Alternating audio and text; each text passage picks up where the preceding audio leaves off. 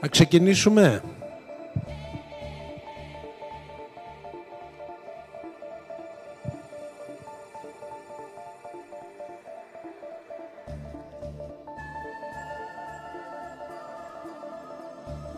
Λοιπόν, κυρίες και κύριοι, καλώς ήρθατε στην Αθήνα. Καλώς ήρθατε στον ιστορικό σύλλογο Πανελλήνιο που φιλοξενεί σε εγκαταστάσεις του αυτή την σπουδαία εργασία που πραγματοποιείται από πέντε εταίρους, από την ε, Ιταλία εκπροσώπους, τη Βουλγαρία, την Πορτογαλία, την Τουρκία και την ε, Ελλάδα. Είναι το τελικό συνέδριο ενός ε, έργου Core Play.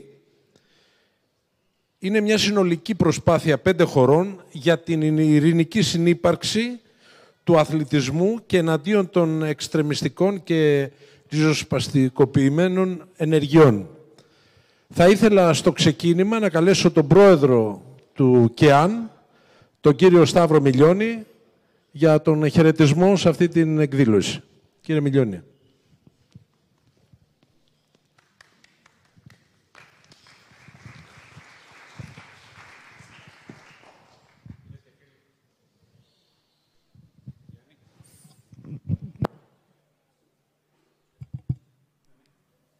So many tests. Ένα. Ναι. Φίλες και φίλοι, καλησπέρα.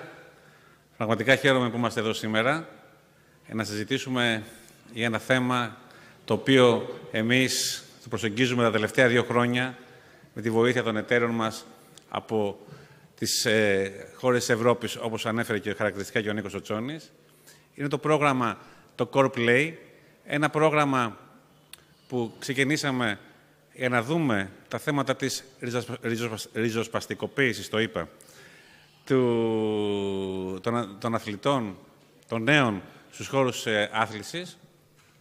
Ήταν μια ιδέα που ξεκίνησε δύο χρόνια λοιπόν πριν, μάλλον δυόμιση χρόνια πριν, συζητώντας ε, και έχοντας παρατηρήσει φαινόμενα που έχουν γίνει στο παρελθόν και έχουν πραγματικά δημιουργήσει, έχουν πληγώσει ε, όχι μόνο τους αθλητικούς χώρους, αλλά την κοινωνία ολόκληρη.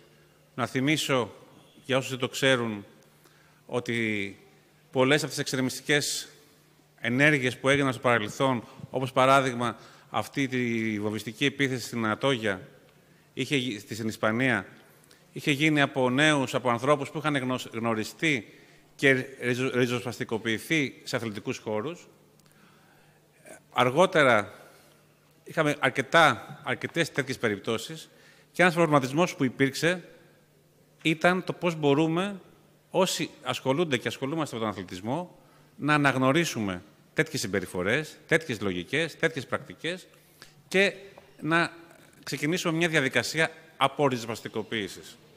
Αυτό ήταν λοιπόν το θέμα μιας προσπάθειας που έγινε τα τελευταία δύο χρόνια συγκροτημένα, συντονισμένα προκειμένου να δώσουμε ε, απαντήσεις σε αυτό το ζήτημα. Γίνανε πολλές συναντήσεις, Ελλάδα, Ιταλία, Πορτογαλία, Τουρκία δεν πήγαμε, δεν ήρθαμε, θα, έρθουμε και θα, πάμε και Τουρκία, που έχουμε τους εταίρους μας. Και τελικά είμαστε σε θέση σήμερα να σας παρουσιάσουμε ένα μοντέλο, το πώς μπορούμε και πώς πρέπει να, ε, να προχωρήσουμε.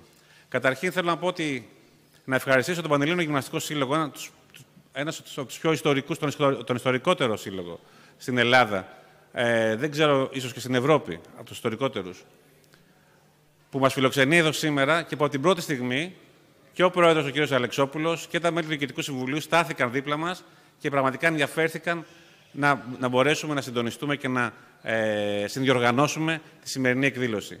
Για μας σήμερα το πρόγραμμα, η εκδήλωση αυτή δεν αποτελεί τη λήξη του προγράμματος, αποτελεί την αφιτηρία, την αρχή που θα, που θα προκειμένου να προχωρήσουμε με, με συνεδρίες με νέους, σε συνεργασία με τους προπονητές, σε συνεργασία με τους παράγοντες, προκειμένου να δημιουργήσουμε τις συνθήκες που τα παιδιά μας θα, θα μπορούν να αθλούνται καλύτερα και με περισσότερη ασφάλεια στους αθλητικούς χώρους.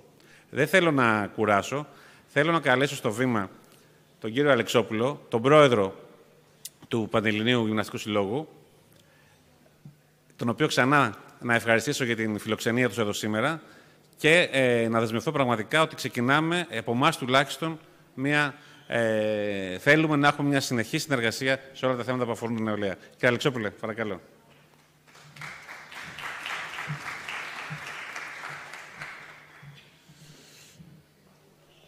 Καλησπέρα και από μένα. Ε, ήθελα να σας χαιρετήσω καταρχήν στην ημερίδα που διοργανώνετε.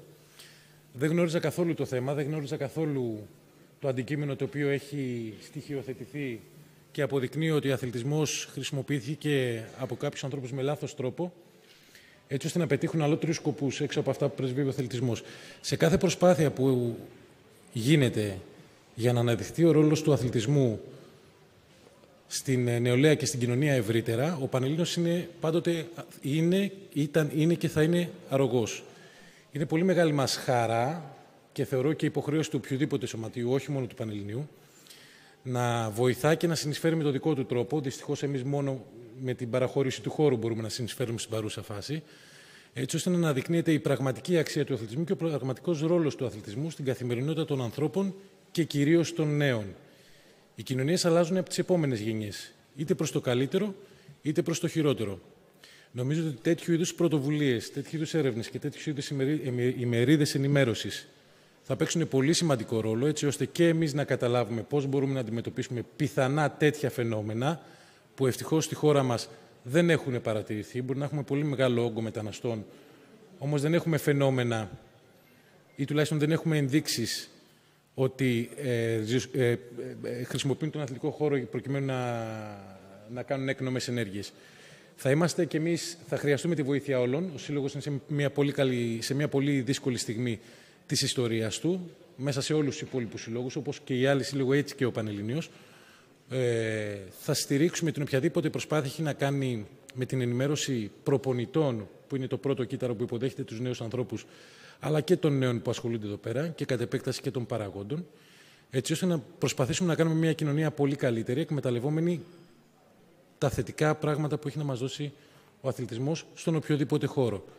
Θα ήθελα να πω επίσης ότι με μεγάλη χαρά θα επισκεφτούμε και εμείς και άλλους συλλόγους για αντίστοιχες ημερίδες. Δεν θέλουμε να είμαστε μόνο οι, αυτοί που φιλοξενούν τέτοιου είδους εκδηλώσεις. Θέλουμε να συμμετέχουμε, το ξέρετε πολύ καλά και το έχουμε συζητήσει.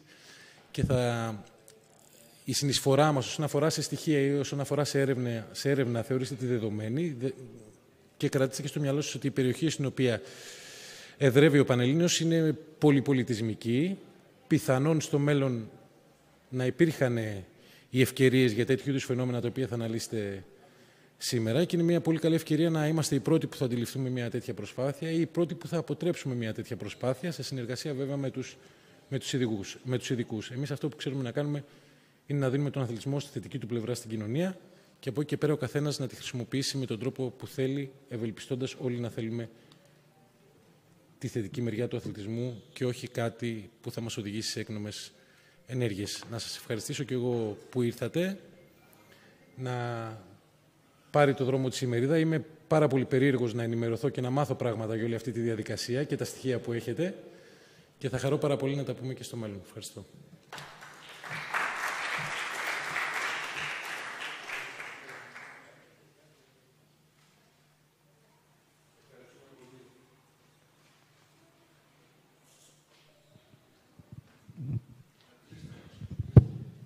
Ευχαριστούμε πολύ τον πρόεδρο του Πανελληνίου, τον Αλέξη τον Αλεξόπουλο, ο οποίος ε, έχει γίνει και πρωταθλητής Ευρώπης στα 200 μέτρα. Και θα θέλαμε για ένα χαιρετισμό από τον κύριο Βασίλη Κονόμου, τον ε, εκπρόσωπο του Ελληνικού Κοινοβουλίου.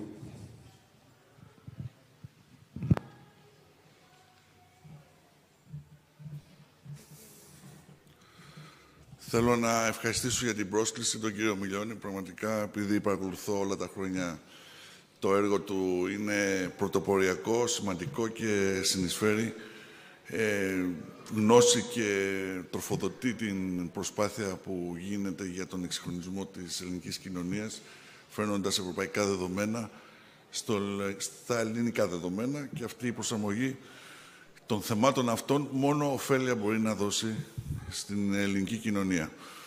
Οι δράσεις των ε, μη κυβερνητικών οργανώσεων είναι κρίσιμες γιατί δεν είναι καθοδηγούμενες και δεν ε, καθυποτάσσονται από αλότριες, να το πω έτσι, βλέψεις και επιδιώξεις. Συνήθως είναι οργανώσεις οι οποίες παίζουν σημαντικό ρόλο στην ανάδειξη κρίσιμων κοινωνικών θεμάτων. Ε, πολλές φορές κατηγορούνται, ειδικά για το μεταναστευτικό, προσφυγικό, πολύ, μια μεγάλη μερίδα, δεν ξέρω τώρα μεγάλη, πάντως μια μερίδα της κοινής γνώμης, αλλά και της πολιτικής τάξης του τόπου είναι επικριτική για το ρόλο που έχουν παίξει οι μη κυβερνητικές οργανώσεις. Αλλά εγώ πιστεύω ότι τελικά η συνεισφορά τους είναι θετική για την αντιμετώπιση αυτού του μεγάλου και φλέγοντος ζητήματος που είναι η μετανάστευση και μάλιστα η παράνομη είσοδος χιλιάδων ε, μεταναστών αλλά και προσφύγων ε, στη χώρα μας. Το σημερινό, η σημερινή ημερίδα και η παρουσίαση τμήματος, από ό,τι έχω καταλάβει, μιας, ε, ενός προγράμματος και μιας έρευνας η οποία γίνεται στη χώρα μας, στα πλαίσια ενός μεγάλου ευρωπαϊκού προγράμματος όμως, η ριζοσπαστικοποίηση στον αθλητισμό είναι ένα πολύ ενδιαφέρον και πολύ τολμηρό θέμα για τα ελληνικά δεδομένα. Γιατί στα ελληνικά δεδομένα εδώ έχουμε μείνει ακόμα στο Ολυμπιακός Παναθηναϊκός και τελεία και το πολύ πολύ να παίξουμε και κάμια και λίγο ξύλο στις γειτονιές. Ε, τα πράγματα έχουν προχωρήσει. Ο ρόλος του αθλητισμού στην Ευρώπη είναι πολύ σημαντικός σε πολλά επίπεδα. Υπάρχουν εδώ καθηγητές που θα τα εξηγήσουν αυτά. Αλλά αν θέλετε και τη δικιά μου γνώμη ως παλιός αθλητής και άνθρωπος ο οποίος πήρε μία γεύση μικρή από αυτό το συναπαστικό φαινόμενο που λέγεται αθλητισμός, και το παρακολουθώ μέσα από, τα, από την εξέλιξη των δύο μου αγοριών, τα οποία και αυτά ασχολούνται με τον αθλητισμό, είναι ότι μπορεί να συμβάλλει σε πολλές πλευρές της κοινωνικής ζωής. Μία από αυτές είναι και η αντιμετώπιση των θεμάτων τρομοκρατίας, εξτρεμισμού και φανατισμού, τα οποία παρουσιάζονται ως πρωτόγνωρα φαινόμενα στην Ευρώπη. Στην Ελλάδα όχι ακόμα η ελληνική κοινωνία και η ελληνική δομή είναι τελείως διαφορετική. Και δεν είχαμε και πολύ μεγάλες, τε, μεγάλους τέτοιους θύλακες ε, μετανάστευσης και πληθυσμών στην πατρίδα μας που να μπορέσουν, που μέσα από αυτούς να αναπτυχθούν τέτοια φαινόμενα όπως είδαμε τις τελευταία ειδικά δεκαετία στην Ευρώπη όπου η ριζοσπαστικοποίηση αυτών των τμήματων, ειδικά της νεολαίας, από μετανάστες ε, που ήταν δεύτερης γενιάς από ότι έως τρίτης γενιάς ε, άτομα, ε, νέα παιδιά συνήθως, τα οποία μπήκανε μέσα σε, μέσα σε ένα πλαίσιο ριζοσπαστικοποίησης και φανατισμού και εξτρεμισμού. Δυστυχώς τα αποτελέσματα ήταν τραγικότατα. Τεράστιες απώλειες ανθρωπίνων ζώων, ε, ανασφάλεια, ε, κλίμα τρομοκρατίας, ανασφάλειας και κοινωνικής ανασφάλειας. Αυτό είναι το χειρότερο. Εμείς στη χώρα μας δεν είχαμε τέτοια φαινόμενα, αλλά όμως μια πολύ ωραία παροιμία λέει ότι πριν πεινάσεις μαγειρεύεις. Και επειδή υπάρχουν πλέον τέτοιες πληθυσμιακές ομάδες στη χώρα μας, είτε είναι πρόσφυγες, είτε είναι μετανάστες, είτε είναι παράνομα, παράνομοι μετανάστες, δηλαδή άνθρωποι που δεν έχουν ακόμα μπει στη δικασία, δεν έχουν πάρει ακόμα το άσυλο για να μένουν στη χώρα υπό συνθήκες συγκεκριμένες. Νομίζω ότι αυτή η μερίδα έχει μεγάλη αξία, ειδικά όταν γίνεται στον Πανελλήνιο, έναν ιστορικό σύλλογο. Μου έδειξε τώρα προηγουμένως ο πρόεδρος του την αίθουσα μέσα, η οποία είναι η αίθουσα των ε, τροπέων και των κοιμηλίων που έχει αυτός ο σύλλογος είναι, η, νομίζω, ένα ζωντανό μουσείο της ιστορίας της σύγχρονης Ελλάδας. φυσικά του αθλητισμού οπωσδήποτε. Δηλαδή, μέσα από αυτή την αίθουσα μπορούμε να δούμε τη συμβολή αυτού του σπουδαίου συλλόγου, του ιστορικού συλλόγου, στα δρόμενα της Αθήνας, αλλά και της χώρας. Και είναι πολύ σημαντικό ότι γίνεται αυτή η μερίδα εδώ και προσφέρει ο Πανελλήνιος τις εγκαταστάσεις του για να γίνει αυτή η συζήτηση. Και εμείς, είτε από τη Βουλή, είτε από το Πανεπιστήμιο, είτε από κάθε αθλητικό χώρο ή από τη δημοσιογραφία, βλέπω εδώ τον φίλο μου τον Νίκο τον Τζόνι, ε, μπορούμε, ή από την τοπική αυτοδιοίκηση, μπορούμε πραγματικά να στείλουμε τα μηνύματα που πρέπει προς την κοινωνία, προς τους υπολείπους που δεν είχαν την ευκαιρία σήμερα να παρακολουθήσουν την εκδήλωση, αλλά νομίζω ότι τα συμπεράσματά της και τα αποτελέσματά της θα τα χρησιμοποιήσουμε ο καθένας από τη δικιά του μεριά για να μπορέσουμε να τονώσουμε τη δικιά σας προσπάθεια, κύριε Μιλιώνη, για να προχωρήσει αυτή η προσπάθεια που κάνετε. Συγχαρητήρια πάλι και ευχαριστώ για την πρόσκληση.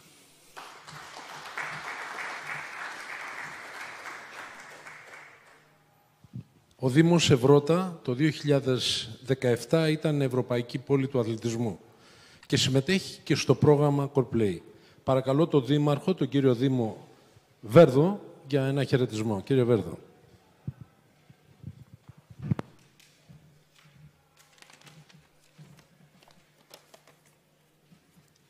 Αγαπητοί προσκεκλημένοι, κυρίες και κύριοι, είναι μεγάλη τιμή για μένα, ναι, σαν Δήμαρχος Ευρώτα, να συμμετέχουμε σε ένα πρόγραμμα Εράσμους.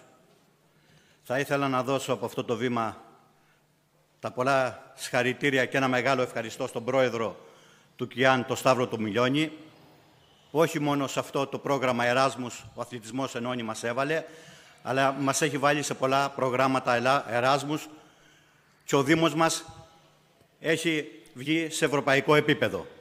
Πάνω απ' όλα εξωστρέφεια. Ο αθλητισμός είναι ο χώρος ευγενούς άμυλας στον οποίο οι αθλητές ασκούν το σώμα και το νου τους και αναπτύσσουν και καλλιεργούν κλασικές αρχές όπως η ενίσχυση της αυτοπεποίθησης, η αυτοπιθαρχία, ο σεβασμός στον συναθλητή αλλά και στον αντίπαλο. Σε καμία περίπτωση δεν σχετίζεται με την τυφλή βία και την άνομη συμπεριφορά που παρατηρείται συχνά στις μέρες μας. Ωστόσο, τα φαινόμενα βίας στον αθλητισμό δεν είναι κάτι καινούριο, ούτε στη χώρα μας, ούτε στον υπόλοιπο κόσμο. Πολλές φορές έχουμε γίνει θεατές συγκρούσεων και συμπλοκών τόσο ανάμεσα σε οπαδούς ομάδων όσο και σε αθλητές. Τα φαινόμενα αυτά καταδεικνύουν κοινωνικά προβλήματα και για το λόγο αυτό η αντιμετώπιση τους απαιτεί στοχευμένες ενέργειες και συνεργασία όλων των εμπλεκόμενων φορέων. Κράτος, τοπική αυτοδιοίκηση, σχολεία, αθλητικά σωματεία, αθλητές, οργανωμένες ενός φιλάθλων. Και όταν λέμε στοχευμένες ενέργειες, αναφέρουμε κυρίως στην καλλιέργεια της, της αρχής εφαγωνίζεστε στα παιδιά μέσω του συστήματος εκπαίδευσης και της οικογένειας. Η μοίηση στο εφαγωνίζεστε ως σύστημα αξιών, τρόπος σκέψης και στάσης ζωής αποτελεί μοναδικό αντίδοτο απέναντι στον περιορισμό ή εξάλληψη κάθε μορφή βίας. Από εκεί και πέρα, όσο αφορά την καταστολή της βίας, απαιτείται ένα νομικό πλαίσιο σύγχρονο, ρεαλιστικό, αυστηρό, αλλά και κοινωνικά αποδεκτό. Εν κατακλείδη, οφείλουμε να εξετάσουμε το ζήτημα που μας απασχολεί σήμερα, όχι μεμονωμένα, αλλά σε ένα κοινωνικό πλαίσιο, όπου οι συνθήκες διαβίωσης γίνονται ολοένα και περισσότερο πιεστικές, οι κοινωνικές ανισότητες εντείνονται, το άτομο απομονώνεται και κατά συνέπεια η έκφραση συναισθημάτων γίνεται με μορφές βίας. Ευχή μου είναι η βούληση όλων των προαναφερθέντων φορέων για την πάταξη του φαινομένου και η άμεση λήψη εφαρμόσιμων μέτρων. Σας ευχαριστώ. Και πάλι συγχαρητήρια κύριε Πρόεδρε και σας ευχαριστούμε για όλα.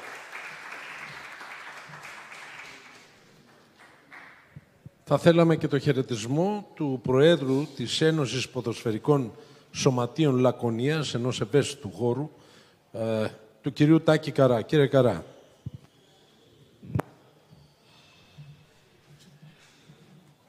Πριν έρθω από την όμορφη Σπάρτη, να σας μεταφέρω την καλησπέρα και βεβαίως και την ευλογία του πολιούχου μας, γιατί σήμερα είναι του Αγίου Νίκονος στην πόλη της Σπάρτης. Είχα ετοιμάσει κάποιες επισημάνσεις για το συγκεκριμένο θέμα που θα αναπτυχθεί σήμερα σε αυτή την ωραία συνάντηση μέσα από τον ΚΕΑΝ και τους υπόλοιπους φορείς. Πράγματι, ε, σήμερα η κοινωνία μας ε, δέχεται και παίρνει πάρα πολλά μηνύματα μέσα από την μεγάλη εισρωή προσφύγων μεταναστών. Αυτό όμως δεν γίνεται τώρα αυτό το διάστημα, γίνεται αρκετά χρόνια και στο νομό μας, στο νομό Λακωνίας, εμείς το ποδόσφαιρο το έχουμε αντιμετωπίσει θετικά βοηθώντας τις οικογένειες, τους νεαρούς αθλητές ή τις αθλήτριες να συμμετέχουν με τα δικά μας παιδιά στο ποδόσφαιρο, σε μικρές ηλικίες, να συμμετέχουν μέσα από τις δραστηριότητες των αθλητικών σωματείων μας και τις ακαδημίες, τις μειχτές μας ομάδες και βεβαίως πάντα με την στήριξη των προπονητών, των εκπαιδευτών, των ανθρώπων εκείνων που πρέπει να υποστηρίζουν ε, προπονητικά τα παιδιά. Η Λακωνία έχει ένα μεγάλο αριθμό μεταναστών. Οι περισσότεροι εργάζονται στην περιοχή. Πάρα πολλοί έχουν κάνει, όπως είπα, οικογένειες. Και μέχρι σήμερα δεν έχουμε αντιμετωπίσει κανένα πρόβλημα, τουλάχιστον στο ποδόσφαιρο, από οποιοδήποτε μορφή, θα έλεγα, βίας στο περιβάλλον του αθλητικού χώρου. Ε, επίσης θέλω να πω ότι υπάρχουν και Ρωμά, έχουμε και αθλητές Ρωμά που συμμετέχουν στα σωματεία μας, άρα δεν είναι μόνο για αυτούς που που έρχονται στο, στην Ελλάδα ή θα διαμείνουν στην Ελλάδα τα επόμενα χρόνια, αλλά και ομάδες ανθρώπων, όπως είναι και η Ρωμά, που είναι διαχρονικά και είναι γενιές-γενιές σε, κάθε περιοχή. Θέλω και πιστεύω ότι μέσα από τα προγράμματα που έχει ε, ήδη σε εξέλιξη η Ελληνική Ποδοσφαιρική Ομοσπονδία, πάσα στα θρανία, παίζω, ε, μου επιτρέπετε, παίζω, διασκεδάζω, μαθαίνω, είναι προγράμματα τα οποία ε, θέλουμε να εντάξουμε και να ενημερώσουμε τα παιδιά, τους γονείς, τους εκπαιδευτικούς και με τη συμβολή όλων της αθλητικής οικογένειας και ιδιαίτερα των εκπαιδευτών, των προπονητών, να γίνονται ζεστές και ουσιαστικές συναντήσεις και συζητήσεις, ώστε να μην ε, βιώσουμε κανένα θέμα που θα μας έχει φέρει σε μια δύσκολη θέση και μιλάμε πάντα για οποιαδήποτε, όπως είπα και νωρίτερα, σε μορφή βίας. Και όμως και η UEFA ε, δαπανεί και έχει ήδη εντάξει σε δράση της πάνω από 5 εκατομμύρια ευρώ αυτό το διάστημα σε διάφορες χώρες της Ευρώπης στο θέμα της ε, κοινωνίας των νεαρών αθλητών και ανθρώπων που θέλουν να είναι κοντά στο ποδόσφαιρο. Και μάλιστα ε, έχει κάνει δράσεις για αρκετά χρόνια που μέσα σε μέσα από τις δράσεις πάνω από ένα εκατομμύριο άτομα ε, τις έχουν βιώσει και τις έχουν δει. Είμαι βέβαιος όμως ότι το ΚΕΑΝ και όλοι εμείς, ο ανεξαρτήτως την ιδιότητα που σήμερα είμαστε σε αυτή την ωραία και φιλόξενη αίθουσα του Πανελληνίου, σκοπό έχουμε να κάνουμε δράσεις οι οποίες θα μας φέρουν τα καλύτερα αποτελέσματα και την ένταξη όλων των νεαρών αθλητών ανεξαρτήτου χρώματος, βάρους, ύψους, εθνικότητας να είναι μέσα στον αθλητισμό. Σας ευχαριστώ πολύ.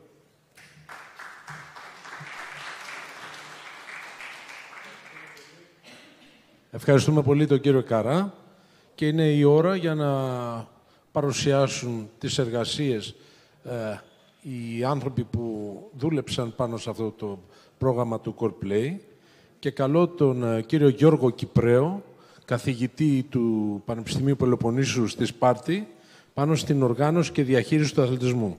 Κύριε Κυπρέο.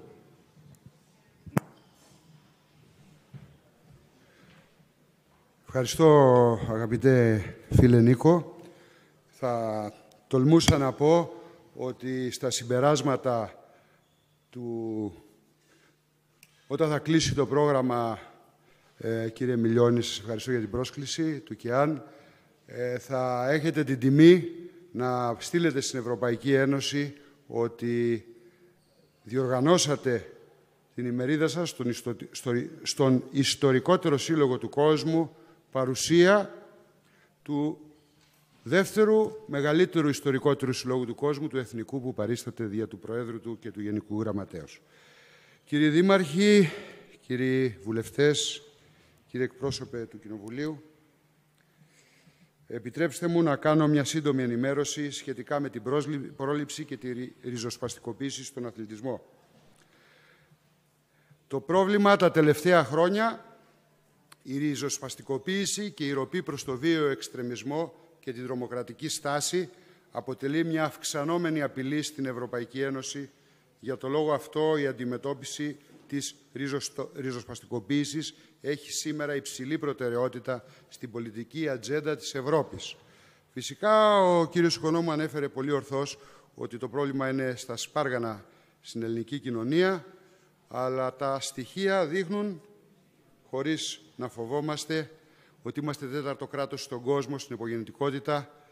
Οι μεγαλύτερες ε, γεννήσεις αυτή τη στιγμή είναι 240 την ημέρα και το ελάχιστο θανάτων είναι 340 την ημέρα. Οπότε γύρω στο 2050 και είμαστε τέταρτο κράτος στη γύρανση. Πραγματικά έχουμε ένα σοβαρό πρόβλημα και πραγματικά ανησυχεί η ελληνική κοινωνία, η καθόλου φιλόξενη. Και εγώ υπήρξα παιδί μεταναστών πολλά χρόνια, οι γονείς μου μείνανε και στη Σουηδία και στη Γερμανία. Σύμφωνα με την παρακάτω απόφαση, στα πλαίσια της καθοδήγησης μέσω του αθλητισμού των νέων που διατρέχουν κίνδυνο ριζοσπαστικοποίησης, υπήρχε συγκεκριμένη πρόταση που συγχρηματοδοτήθηκε 750.000 ευρώ με αποδέκτες τις ε, αποκεντρωμένες διοικήσεις, διευθύνσεις διοίκησης και τους Δήμους περιφέρειες της χώρας. Στόχος της δράσης ήταν η στήριξη από ό,τι, αν μου επιτρέπετε, έργων που έχουν σχέση με τον αθλητισμό, η διοργάνωση από τοπικούς φορείς και την κοινωνία των πολιτών, πρόληψη της περιθωριοποίησης και της ριζοσπαστικοποίησης, στήριξη νέων που διατρέχουν κίνδυνο αποκλεισμού και ριζοσπαστικοποίησης να αποκτήσουν ταυτότητα και την αίσθηση του ανήκειν. Εδώ θα είναι και το μεγάλο πρόβλημα τα επόμενα χρόνια, όπως γνωρίζετε, γιατί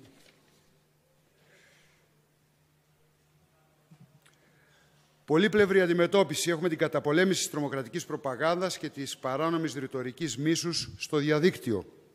Προώθηση της εκπαίδευσης χωρίς αποκλεισμούς και των κοινών αξιών της Ευρωπαϊκής Ένωσης. Προώθηση ανθεκτικών ανοιχτών και χωρίς αποκλεισμούς κοινωνιών και προσέγγιση των νέων. Ενίσχυση της διεθνούς συνεργασίας.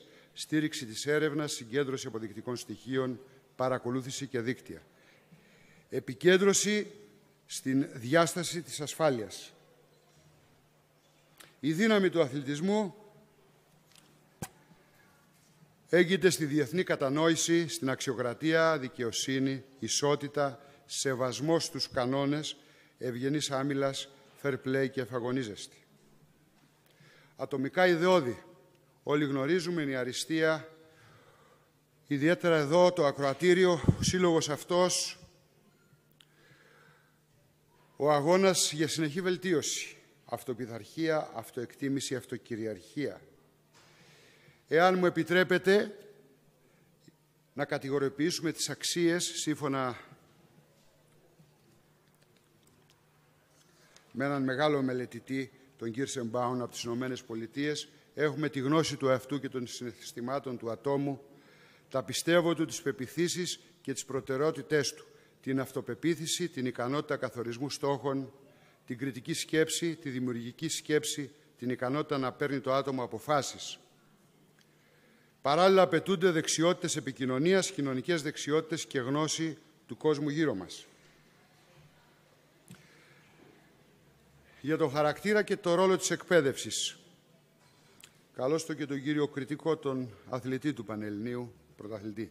Η εκπαίδευση χαρακτήρα περιλαμβάνει το σεβασμό για τους άλλους και τον εαυτό, το σεβασμό της ιδιοκτησίας και του περιβάλλοντος, όπως και η υπευθυνότητα, αξιοπιστία, τιμιότητα, ευγένεια και συμπάθεια προς τους άλλους. Διάθεση για βοήθεια, ανθρωπισμό, ανωτερότητα, μαζί με αυτοπιθαρχία, παρατηρητικότητα και οικονομία. Εκπαίδευση υπηκότητας. Η έγκριτη πολιτική και οι εκπρόσωποι της τοπικής αυτοδιοίκησης ως Δήμος και ως περιφέρεια γνωρίζουν ότι η εκπαίδευση ποιότητας περιλαμβάνει τη γνώση και την κατανόηση της ιστορίας, ένα μεγάλο κεφάλαιο, δημοκρατική σκέψη, κατανόηση των δικαιωμάτων και υποχρεώσεων του ατόμου, κατανόηση των πολιτιστικών διαφορών ανάμεσα στους ανθρώπους, δεξιότητες, κριτικής σκέψης, δεξιότητες επικοινωνίας, συνεργασίας και δεξιότητες επίλυσης διαφορών. Ηθική εκπαίδευση Η ηθική εκπαίδευση περιλαμβάνει ηθική γνώση και κατανόηση, ηθική παράδοση, δικαιοσύνη, ηθική αιτιολόγηση, αντιστροφή ρόλων, συνέπειες συμπεριφορών και άλλες αξίες, καθώς επίσης συμπάθεια και αλτρουισμό, διαμόρφωση ηθικών συνηθιών, αυτοελέγχου, ταπεινότητα και τέλος δημιουργία ηθικής συνείδησης. Ω προτάσεις, να μου επιτρέψετε, τελειώνω, θα μπορούσαμε να δεχτούμε σε ένα άμεσο ή βραχυπρόθεσμο ή μακροπρόθεσμο βήμα τα διοικητικά συμβούλια των αθλητικών φορέων, οι ομοσπονδίες, οι αθλητικοί σύλλογοι πρέπει να αναλάβουν πιο στοχευμένες δραστηριότητες ευαισθητοποίησης για την εξάλληψη του τυχόν αποκλεισμού, προγράμματα ποικιλομορφίας για την ενθάρρυνση της συμμετοχής μεταναστών και μέλων εθνοτικών μειονοτήτων, κάτι που συμβαίνει πάρα πολύ. Πρωτοβουλίες για άρση των εμποδίων στην πρόσβαση σε ειδικές θέσεις αθλητικών οργανισμών εθνοτικών μειονοτήτων και νέων. Καταπολέμηση μορφών και εκφάσεων ρατσισμού, ξενοφοβίας και φανατισμού που γεννά τη ριζοσπαστικοποίηση, ενίσχυση και βελτίωση της πολιομορφίας.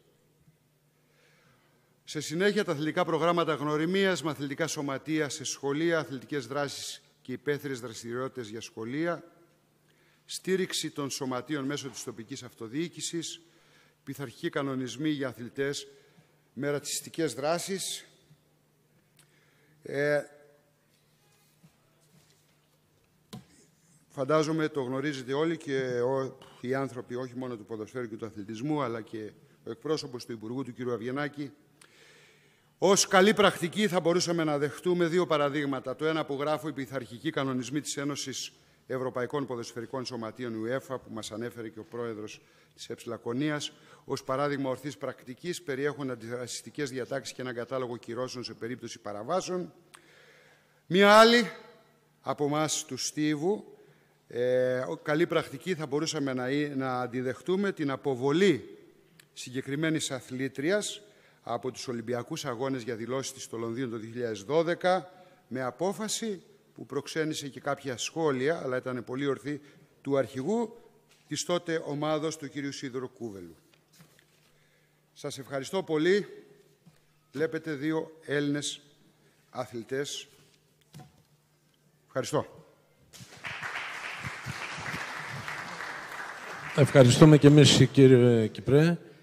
Και θέλω να καλέσω για ένα χαιρετισμό τον κύριο Νεοκλή Κριτικό, εκπρόσωπο του Κοινοβουλίου, αθλητή του Συλλόγου του Πανελληνίου, Πανελληνιονίκη και Βαλκανιονίκη στους δρόμους συμμετοχής. Κύριε Νεοκλή, να συμπληρώσω ότι πρωταθλητής στο τριπλούν ήταν και ο έτερος ε, ομιλητής, ο κύριος Οικονόμου στο τριπλούν.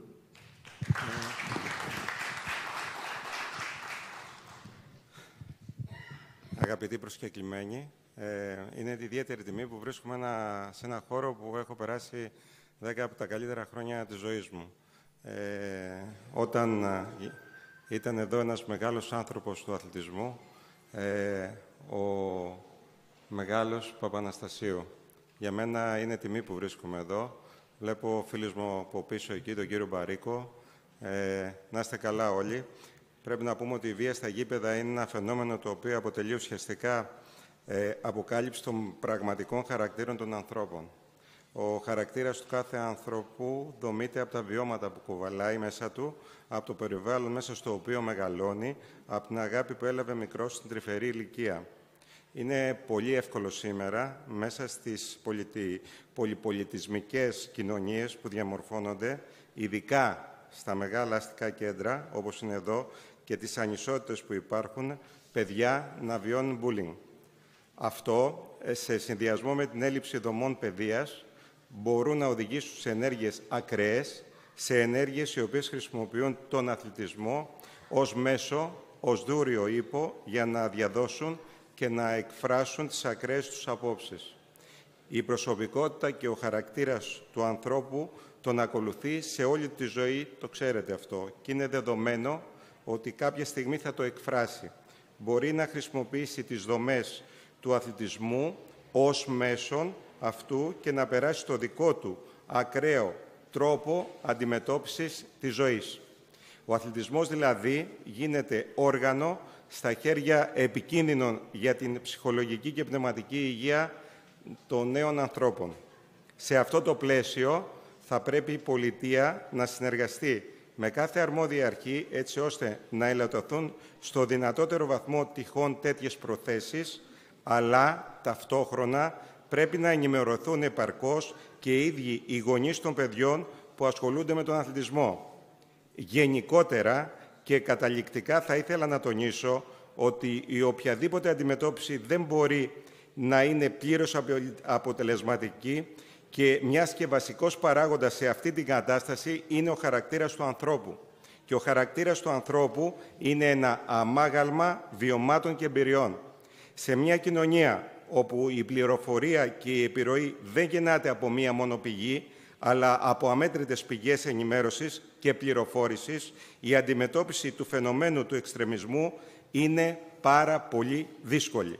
Σίγουρα η παιδεία, η κατανόηση, η κοινωνία των προσώπων και η ευγενής άμυλα μπορούν να οδηγήσουν σε κοινωνία με πιο αποτελεσματικούς μηχανισμούς ασχόλησης και ανά, ανάκαμψης των εξτρεμιστικών αυτών ενεργειών. Είναι εξαιρετική η σημερινή ημερίδα. Συγγνώμη για την αργοπορία μου, διότι σήμερα ήταν ε, ε, η γιορτή της πόλεως μου, μια και είμαι από τη Σπάρτη, είναι ο Έσος Νίκον, κύριε Οικονόμου, κάτω ο Πολιούχος, και γι' αυτό άργησα.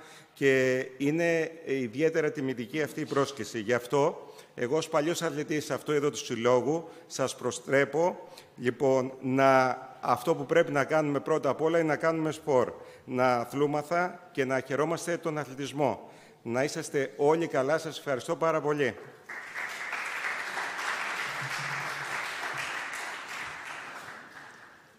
Ευχαριστούμε πολύ τον κύριο Κριτικό, ο οποίος εκτός από πρωταθλητής είναι και, και εκτός από βουλευτής, είναι γιατρός, χειρουργός, πετυχημένος, που όλα ξεκίνησαν από τον αθλητισμό. Βοήθησε ο αθλητισμός πάρα πολύ σε αυτές τις προσπάθειες. Θα ήθελα τώρα να καλέσω για ένα χαιρετισμό και τον επιστημονικό συνεργάτη της Επιτροπής Ολυμπιακών Αγώνων, της Εθνικής Ολυμπιακής Επιτροπής, τον κύριο Αντώνη Λεμονή. Κύριε Λεμονή.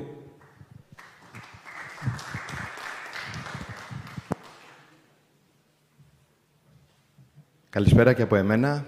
Ε, δεν θα ήθελα να κρατήσω πάρα πολύ το μικρόφωνο. Ευχαριστώ πολύ για την ιδιαίτερη πρόσκληση και για την προσπάθεια που κάνουν ε, οι φίλοι και συνεργάτες μου.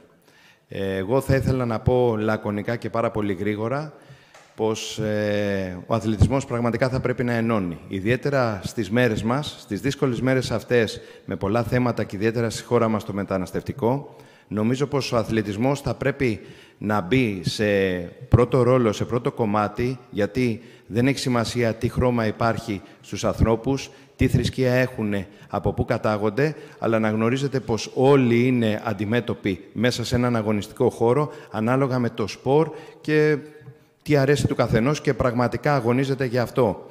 Πραγματικά το Ολυμπιακό πνεύμα και σαν γιατρός της Ελληνικής Ολυμπιακής Επιτροπής σε μεγάλες διοργανώσεις μεσογειακούς, Ολυμπιακούς αγώνες και ούτω καθεξής, θα σας πω πως πραγματικά το Ολυμπιακό πνεύμα και ιδιαίτερα σε αυτή την προσπάθεια την οποία γίνεται μέσα και από αυτόν τον εδώ πέρα τον ιδιαίτερο οργανισμό, θα πρέπει να ε, πρωτοστατήσει και θα πρέπει να βγει ένα βήμα παραπάνω μπροστά. Πραγματικά ο αθλητισμός είναι ένα μέσο τον οποίο μπορεί να ενώσει, μεν υπάρχει άμυλα, ε, οι ανθρώποι που ε, καταρτίζουν, αλλά και οι ανθρώποι που μεριμνούν για, τους, για την πραγματική άμυλα και για τον υγιή αθλητισμό, θα πρέπει να βάλουν αυτή τη στιγμή ένα λιθαράκι ακόμη παραπάνω και ιδιαίτερη, μια ιδιαίτερη προσπάθεια. Ε, πραγματικά θα πρέπει στοιχεία τα οποία δεν έχουν σχέση με τον υγιή αθλητισμό και με, την, με το Ολυμπιακό ιδιώδες και το Ολυμπιακό πνεύμα, θα πρέπει με έναν ωραίο ιδιαίτερο τρόπο, ε, δεν είναι πάντα η τιμωρησία, ούτε πάντα είναι η, ε, πώς να το πω, η αποκλήρωση από αυτό το σπόρι, από τον αθλητισμό γενικά, από το χώρο τον αθλητικό, θα πρέπει να απομακρυνθούν έτσι ώστε να μείνουν τα υγιή πραγματικά στοιχεία και ουσιαστικά ο αθλητισμός να είναι το κομμάτι εκείνο που θα ενώσει όλους τους ανθρώπους και οποιασδήποτε φυλής, θρησκείας, χρωματικής ιδιαιτερότητας. Ευχαριστώ πολύ για το χρόνο σας. Να είστε καλά και πάντα επιτυχίες. Ευχαριστώ.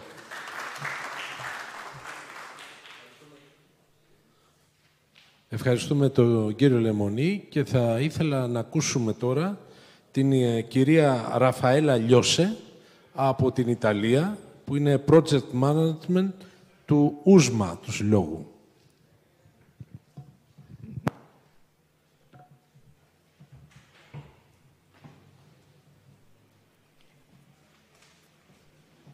Hello, everybody.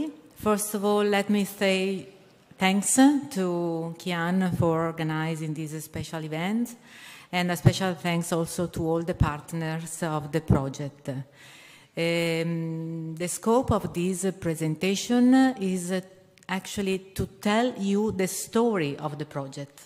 So I would like to um, share with you where the project started where the project born and how we developed since the very, very beginning of the project.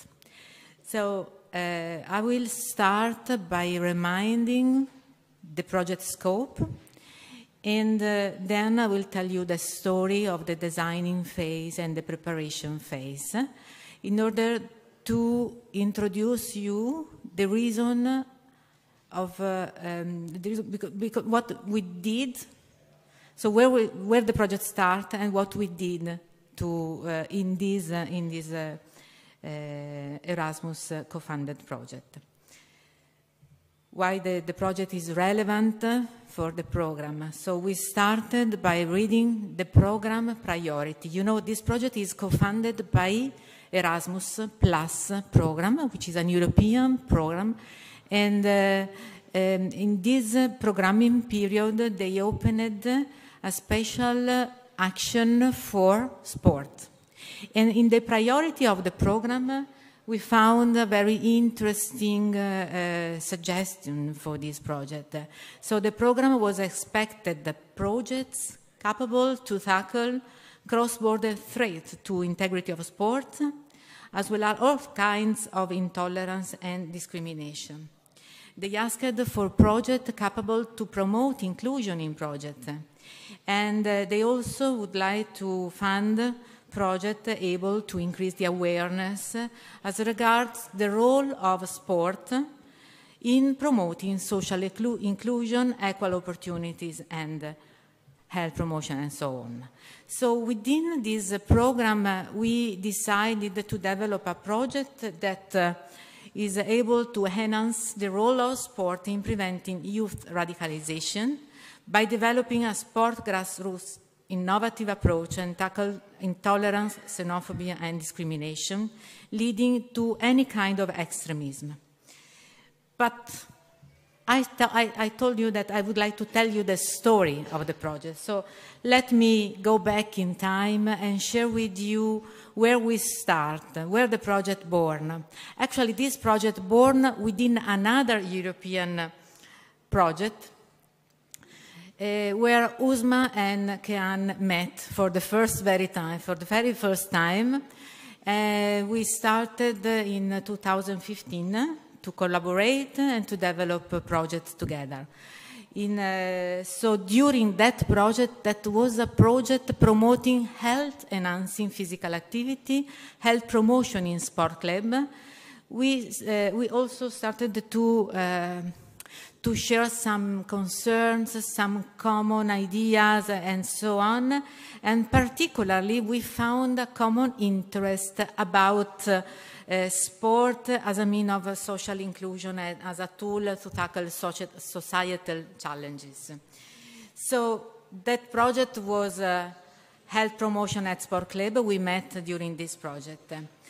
But how we decided to work on uh, radicalization we started to discuss and to, we wanted to find out a very innovative uh, topic to be uh, included in a new project. And at that time, uh, radicalization was something very, very impacting on uh, public opinion, but also it was also a political concerns. So we realized that uh, youth radicalization, uh, um, we, we, started to wonder if youth radicalization could be in some way tackled by sport, by mean of sports. And we started also to, to study the topic to understand if this topic were relevant for not only us, but also for other organizations and for the Commission itself. So first, we started by uh, building a partnership, a transnational partnership, creating a very balanced and integrated partnership. We are youth association, we are sport association, we have inside the partnership a university, we have also NGO, and uh, uh, we started, after that we built the partnership to define the, project focus, always investigating studies, research, political uh, recommendation, and so on. So we found that, even if some sporadic initiatives can be find, found and analyzed to pinpoint how sport is an actual tool not only for inclusion but also to monitor youth at risk of deviation and to prevent radicalization, not enough operative tools exist, existed because now we have, we, we provide with this project so existed to improve the capacities of those people working in uh, first line with the youth in the, the sport club. So we focused on this uh, uh, lack, on this uh, uh, lack of tools, lack of capacities, and we tried to design a project able to answer to this need. So we go ahead by investigating uh, if, by try to understand if the idea was actually relevant for uh, for Europe and for organizations. We found a very interesting study um, realized by the Union European Union Agency for Fundamental Rights and to, together with the Agent 4, which is uh, an Italian agency uh, working with, the, with FRA. And in this study, we found uh, um, these sentences that uh, at that time actually impressed us very, very much. We found that um, several um, suicide bombers became friends, met in, uh, in sport clubs, and also the bombers of Madrid, more than 15, oh, actually 15 years ago, more or less, played soccer together.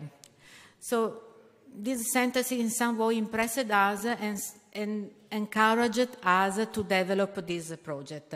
So we go ahead, we investigate other studies, we find out several um, uh, research and uh, we again um, try to understand if the project were actually very relevant for the program. I don't want to take uh, to noise you reading all the studies we we collected at that time, but I would like to tell you the story of the project. So in this uh, uh, common concern and common understanding of a lack of tool to create new capacities at the sport club uh, to tackle, uh, to support youth at risk of deviation and to reduce the risk of extremism in sport, we designed that a project that started, I'll go fast, sorry. So we focus on this question, how can we improve the capacities to monitor and counter radicalization process at sport grassroots levels? On, on this question, sorry, we defined the project-specific goals, four specific objectives. The first it was necessary to increase the knowledge, to increase the understanding of the, the issues, and this, is, this was the first project objective. The second project objective we focused on was to develop capacities of managers, coaches, people working at clubs to identify the signs of radicalization, identify the signs of extremism, of uh, violence, uh, potential violence, uh, um, comportamenti, non mi viene mai la parola, behavior, thanks for the, the, the tribuna. so uh, we developed, uh, uh, we wanted to provide the tools to increase the capacities of that target. Of course, we adopted also another, pro- another objective about awareness and uh, transferring our tools and our output. So we started by understanding the context.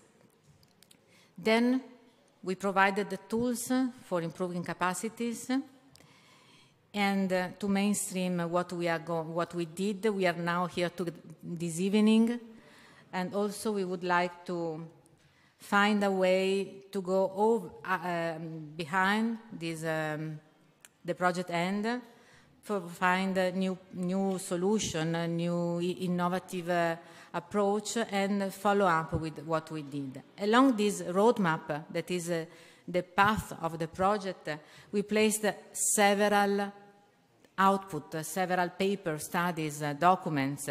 So give me five minutes more to introduce this, um, this out, the output of the project. So for understanding how, how we did, what we did to improve the understanding of the contest. Of course, we increased the literature review uh, that we have already developed during the preparation phase. So we developed a, a literature review and um, checking and uh, reviewing actually papers, studies developed not only in English but also in national languages. Finding, uh, um, we, we, read everywhere that sport is a, a tool to, for inclusion. Sport is, so there are several sentences of uh, this kind, but we didn't found a lot of evidences. So what we did in this project is, uh, was to try to collect stories from grassroots. So we went to clubs, we went to meet people, we invited students to interview other people, we invited sport managers and clubs to tell stories. What happened, what happened in the past, actually happened in the past. So we collected uh, several stories and uh, tried to understand which sort of uh, needs exist, not generally in sport, not at high level, but in the grassroots level. Uh, from literature review and, uh, and, the stories collected, we developed a study, a report, about the skills necessary the, at the grassroots level to, uh, to tackle such a societal challenges. And then we capitalize the, the knowledge we get in this part of the project to develop tools for increasing capacities. So first, from uh, what we learn uh, about um, from stories, we try to understand which sort of learning needs are still necessary at the grassroots grassroot level. And uh, from uh, uh, the analysis of the needs, we started to design, to imagine the learning models. And after that, to arrange what? First, open educational resources, some tools to be used at the grassroots level, and also we go over, so from capacities to awareness by providing a, um, counter-narrative tools to be used in grassroots sport club and a learning catalog where we will, uh, we have we are going to summarize and systematize, systematize all the, the project uh, achievements. Uh, so all these uh, black ball on, on, the path have been uh, developed by the consortium. So uh, we collaborated a very mm, productive and uh, positive atmosphere, and for that I would like to thank the University of Hacettepe, is it correct? Okay, for developing the literature review and to help us in discussing what we mean about radicalization in this project. I would like to thank Kian to have uh, analyzed all the stories we collected. Uh, my colleague from USMA that developed the study and uh, the analysis of learning needs. This is the first part of the project. Then the second part of the project is uh, from the analysis of learning needs to the design of course. Uh, learning tools or learning models. So a special thanks for, to the Bulgarian uh, partner OPA, Opportunity and Project Association, who helped us in designing these models. Uh, one more again to Kian for the educational resource and actually a great thanks to Rosto for the creative approach they used for uh, um, developing the, um, the counter-narrative tools and the learning uh, catalog. So I will complete, conclude, here, uh, con conclude here my presentation. I think it's enough time for you listening this presentation. And I will, I will give the floor to the partners. They will explain you uh, something more about this output. And so from my side, it's all. Thank you for coming. Thank you for the participation. Thank you for organizing this, um, this conference. And once again, thanks to the partners.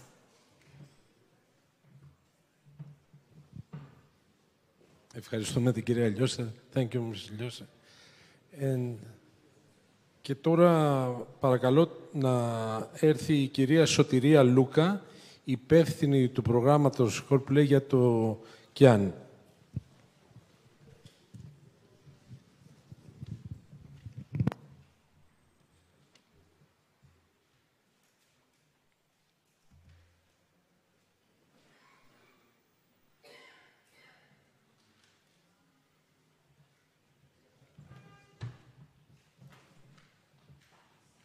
Καλησπέρα και από εμένα. Ε, ουσιαστικά η συνάδελφος η κυρία Ραφαλιά Ελιώση σας έκανε μια σύντομη ενημέρωση, συνοπτική παρουσίαση όλων των παραδοτέων του έργου Core Play, το οποίο όπως είπε και ο κύριος Μιλιώνης διήρκησε ε, και τελειώνει 31 Δεκάτου 24 ε, μήνες.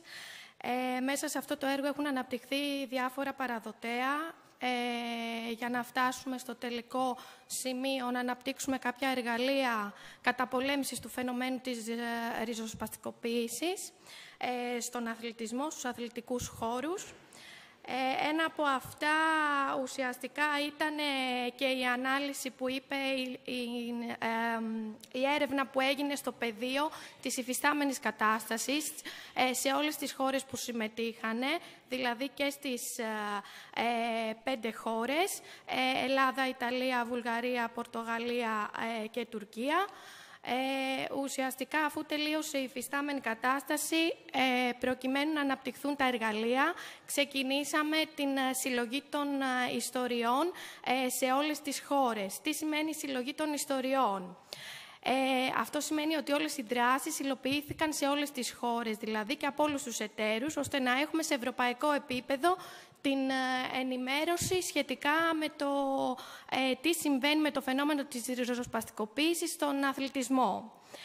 Ε, οι στόχοι για τη συλλογή των ιστοριών, τι σημαίνει συλλογή των ιστοριών; Οι ιστορίες, ε, ε, θέλαμε να συλλέξουμε ιστορίες ουσιαστικά ε, ανθρώπων που ασχολούνται στον αθλητικό χώρο και στον αθλητισμό και αφορούσαν το πόσο ο αθλητισμός και τις εμπειρίες τους βασικά, το πόσο ο αθλητισμός χρησιμοποιείται ως μέσο ένταξης ουσιαστικά στο να προστατέψει οποιαδήποτε μορφή ριζοσπαστικοποίησης.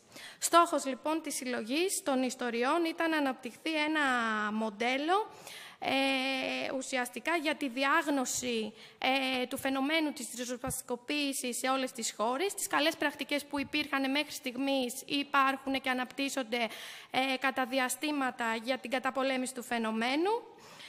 Και με, ουσιαστικά ε, να αρχίσουμε να κάνουμε μία έκθεση αναγκών και εφιστάμενης κατάστασης, ώστε να μπορέσουμε να οθήσουμε τα αθλητικά σωματεία να αναπτύξουν ειδικά εκπαιδευτικά προγράμματα για την καταπολέμηση του φαινομένου, να μπορέσουμε ε, και του φαινομένου και της ριζοσπαστικοποίησης, άρα και των εξτρεμιστικών ε, συμπεριφορών ε, και των ρατσιστικών, να αναπτύξουν δεξιότητες οι άνθρωποι οι οποίοι εμπλέκονται στο πεδίο του αθλητισμού και αυτό σημαίνει ε, οι προπονητές και όλοι οι οποίοι είναι στο πεδίο, οι sport manager, ε, των σωματείων ουσιαστικά, ώστε να αναπτύξουν τις δεξιότητες πώς να αντιμετωπίζουν το φαινόμενο. Ε, αυτοί ήταν οι τρεις στόχοι όπου ξεκινήσαμε αυτό το παραδοτέο. Ουσιαστικά πώς έγινε αυτό. Κάναμε τρία βήματα. Όλες οι χώρες κάνανε τις εξής ενέργειες. Ουσιαστικά κάναμε κάποιες ε, εκδηλώσεις, ανοίξαμε μια πρόσκληση εκδηλώσεις ενδιαφέροντος, όπου ζητάγαμε να μας διηγηθούν μέσω κάποιων ε, ε, συνεντεύξεων που έγιναν, face to face ή μέσω ίντερνετ ουσιαστικά, ενός ερωτηματολογίου, να μας διηγηθούν τις προσωπικές τους ιστορίες και απευθυνόμασταν ουσιαστικά στους ανθρώπους που ασχολούνται και βρίσκονται σε άμεση επαφή, όπως είπε και η κυρία Ραφαέλα, ε, σε front line, ε, στην πρώτη γραμμή, ε, με τους αθλητές κυρίως. Ε, το δεύτερο στάδιο ήταν να γίνουν κάποια εργαστήρια σχετικά με το, να τους ενημερώσουμε το τι είναι ριζοσπαστικοποίηση, τι κάνει το έργο, για ποιο λόγο βρισκόμαστε εδώ ε, και τι ουσιαστικά θέλουμε να κάνουμε. Μέσα από αυτά λοιπόν βγήκε μια έκθεση η οποία ουσιαστικά ανέφερε τη γνώση, την υφιστάμενη κατάσταση όπως σας είπα στις χώρες. Όπως σας είπα, τα target group μας ήταν προπονητές, διαιτητές, ε, ε, εκπαιδευτές. Απευθυνθήκαμε κυρίως σε οργανισμούς, ε, σε τοπικό επίπεδο κυρίως. Και εκεί ήταν πολύ σημαντική και η συμμετοχή του Δήμου Ευρώτα από την Ελλάδα όσον αφορά τη χώρα μας. Ε, επίσης σε ομοσπονδίες, σε οργανισμούς τοπικής αυτοδιοίκησης που έχουν μέσα τα τμήματα αθλητισμού, ε, σε σχολεία, σε άλλες χώρες, γιατί έχουμε οργανισμούς εδώ οι οποίοι είναι οργανισμοί νεολαίας, ε, ε όπως ο εταίρος μας από τη Βουλγαρία, ε, ή ακόμα σε ε, καθηγητές στα τμήματα φυσικής αγωγής στις χώρες όπως στην Τουρκία που συμμετέχει το Χασετέπε University. Τι κάναμε λοιπόν, ε, ουσιαστικά έγιναν event όπως σας είπα, ένα event της Ελλάδας ε, στην Αθήνα έγινε 21 Σεπτεμβρίου, ε, άλλο event που ακολούθησε έγινε στην Πάντοβα της Ιταλίας με το Πανεπιστήμιο εκεί σε συνεργασία στις 5 Οκτωβρίου, στη Σάντα Μαρία Νταφέιρα που είναι η πόλη από την οποία είναι και η οργάνωση της Πορτογαλίας έγινε στις 15 Οκτωβρίου. Ουσιαστικά συλλέξαμε 31 ιστορίες, ε, κάθε χώρα ε, συνέλεξε τουλάχιστον πέντε ιστορίες, ε, ε, ήρθε δηλαδή σε επαφή με ανθρώπους οι οποίοι περιέγραψαν τα δικά τους συμπεράσματα. Ε, ουσιαστικά δεν θα σας κουράσω πολύ. Θέλω να κρατήσουμε δύο-τρία πράγματα τα οποία μας είπανε μέσα από τις ιστορίες οι άνθρωποι για να καταλάβουμε τη γνώση. Λοιπόν, ε, θα δούμε ότι ένας ποδοσφαιριστής, ε, το οποίο αν θυμάμαι και τη χώρα ήταν εδώ στη χώρα μας αυτό, ε, μας δήλωσε ότι θα πρέπει να δεχόμαστε και να σεβόμαστε την διαφορετικότητα και τις διαφορές που υπάρχουν, αλλά θα πρέπει να ερευνήσουμε για κοινά σημεία ουσιαστικά αναφοράς, τα οποία θα μας οδηγήσουν στο να αποδεκτούμε αυτές τις ε, διαφορές. Ε, ένας προπονητής σε μια ομάδα βόλεϊ, νομίζω πάλι και στην Ελλάδα είναι αυτό, ε, αν θυμάμαι σωστά, ε, μας είπε ότι ε, ενώ ε, ήρθα σε ε, φαινόμενο, ήμουν μάρτυρας ουσιαστικά σε περιστατικό το οποίο αφορούσε την, το φαινόμενο της ριζοσπαστικοποίησης, ανακάλυψα ότι έχω την έλλειψη διαχείρισης του φαινομένου αυτού και αυτών των καταστάσεων, ωστόσο ήρθα σε επαφή με την μητέρα της συγκεκριμένης αθλήτριας για να καταπολεμήσει κάπως με τον τρόπο το προπονητή στο περιστατικό. Ε, ωστόσο, εκεί η κατάσταση λοιπόν έγινε ακόμα πιο δύσκολη, διότι υπήρχε μια ε, διαφορετική άποψη που προερχόταν και από τον ε, χώρο της οικογένειας. Ε, άλλοι επίσης μας είπαν στις συνεντεύξεις ότι αυτές οι ιστορίες που βλέπετε τώρα ε, είναι από όλες τις χώρες. Ε, ένας άλλος ποδοσφαιριστής μας είπε ε, ότι ουσιαστικά δεν ξέρω τι είναι ριζοσπαστικοποίηση, ποια είναι η έννοια, ποια είναι τα είδη, τα σημάδια για να την αναγνωρίσω, αλλά από την εμπειρία μου μπορώ να πω ότι τέτοιου είδους περιστατικά ε, οδηγούν σε βίες συμπεριφορές, σε ενέργειες ε, φανατισμού, εξτρεμισμού και τρομοκρατίας, ας πούμε. Ε, ένας άλλος ε, προπονητής ε, στο handball ε, κιόλας δήλωσε ότι το handball είναι ένα ομαδικό άθλημα στο οποίο συμμετέχουν διαφορετικά παιδιά με, διαφορετικό, με, διαφορές μεταξύ τους και το καθένα θα πρέπει να σέβεται και να αποδέχεται το άλλο γιατί μόνο έτσι μπορούμε να πετύχουμε τον κοινό στόχο. Ε, ένας άλλος ε, δάσκαλος, καθηγητής, μας είπε ότι αποφασίσαμε ε, να αφήσουμε στους μαθητές να επικοινωνήσουν μεταξύ τους ε, με εθνικότητες από τα άλλα σχολεία, με το στόχο ε, να μάθει ο ένας τον άλλον και να καταλάβουν, γιατί εδώ έχουμε θρησκευτικού χαρακτήρα, ας πούμε, ε, φαινόμενο, ε, ότι η θρησκεία δεν είναι λόγος για να διαχωρίζουν μεταξύ τους και να συμπεριφέρονται βία ή να έχουν όποιες διαφωνίες. Οπότε ο τρόπος προσέγγισης εδώ του καθηγητή ήταν ότι να συζητήσουν όλοι οι μαθητές μεταξύ τους. Ε, επίσης, ένας άλλος προπονητής στο χώρο του ποδοσφαίρου ε, μας είπε επίσης ότι δεν είμαι ενήμερος σχετικά με το τι είναι πάλι radicalization, δηλαδή ριζοσπαστικοποίηση και θέλω περισσότερες πληροφορίες στο πώς να αναγνωρίζω αυτό. Και όντως αυτό το βρήκαμε και εμείς από διάφορες έρευνες που έγιναν εδώ και την υφιστάμενη κατάσταση στη χώρα, ότι δεν υπάρχει γνώση και ενημέρωση στους ανθρώπους που ασχολούνται στο αθλητικό πεδίο ε, για το τι είναι, το πώς μπορούν να αναγνωριστεί, ποια σημάδια και ουσιαστικά τα εργαλεία που μπορούν να χρησιμοποιηθούν ένα εκπαιδευτικό πρόγραμμα, για παράδειγμα, ε, είναι πολύ χρήσιμα για αυτούς ε, τους ε, ανθρώπους. Αυτά συνοπτικά όσον αφορά τις ιστορίες. Και η συνέχεια ήταν ότι Έχουμε ένα output το οποίο θα παρουσιάσει ο συνάδελφός μου πάλι από την Ιταλία και βγήκε μια ε, ανάλυση, μια μελέτη ουσιαστικά για το πώς αντιμετωπίζουμε τον αθλητισμό στις, ε, στην ε, ουσιαστικά καταπολέμηση των κοινωνικών αλλαγών που έχουμε στις χώρες. Ευχαριστώ πάρα πολύ.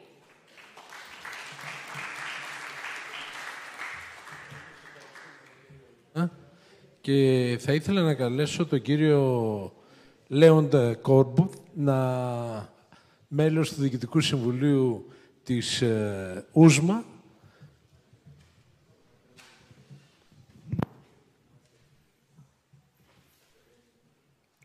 Good evening, ladies and gentlemen. I'm here this evening to talk about what we understood from the stories and um, the learning needs at sports clubs. We've spoken quite a lot about stories, but let me, let me just go. Let me just go back a little bit and talk about the concept of radicalization within the core play framework. We have a series of different types of radicalization based on ethnic origin or religion, gender, social class, maybe body shape, and disability.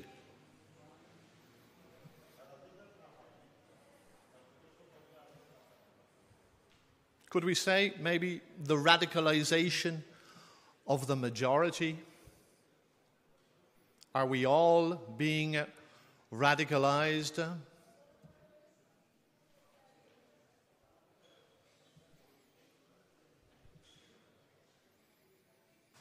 The stories we collected reflect the particular social and cultural issues that can be found at a local level and in different national contexts. Um, what types of stories did we, did we come across? The first relate radicalization to growing and worrying expressions of racism, sexism, or other forms of discrimination carried out by individuals or groups, uh, resulting in exclusion and uh, marginalization. The second type of story that we found was they are first person narratives uh, in which processes of self radicalization are narrated by people who claim to have suffered marginalization, humiliation, or harassment. But both types of stories have something in common that perceived discrimination is frequently seen as a potential trigger for self radicalization.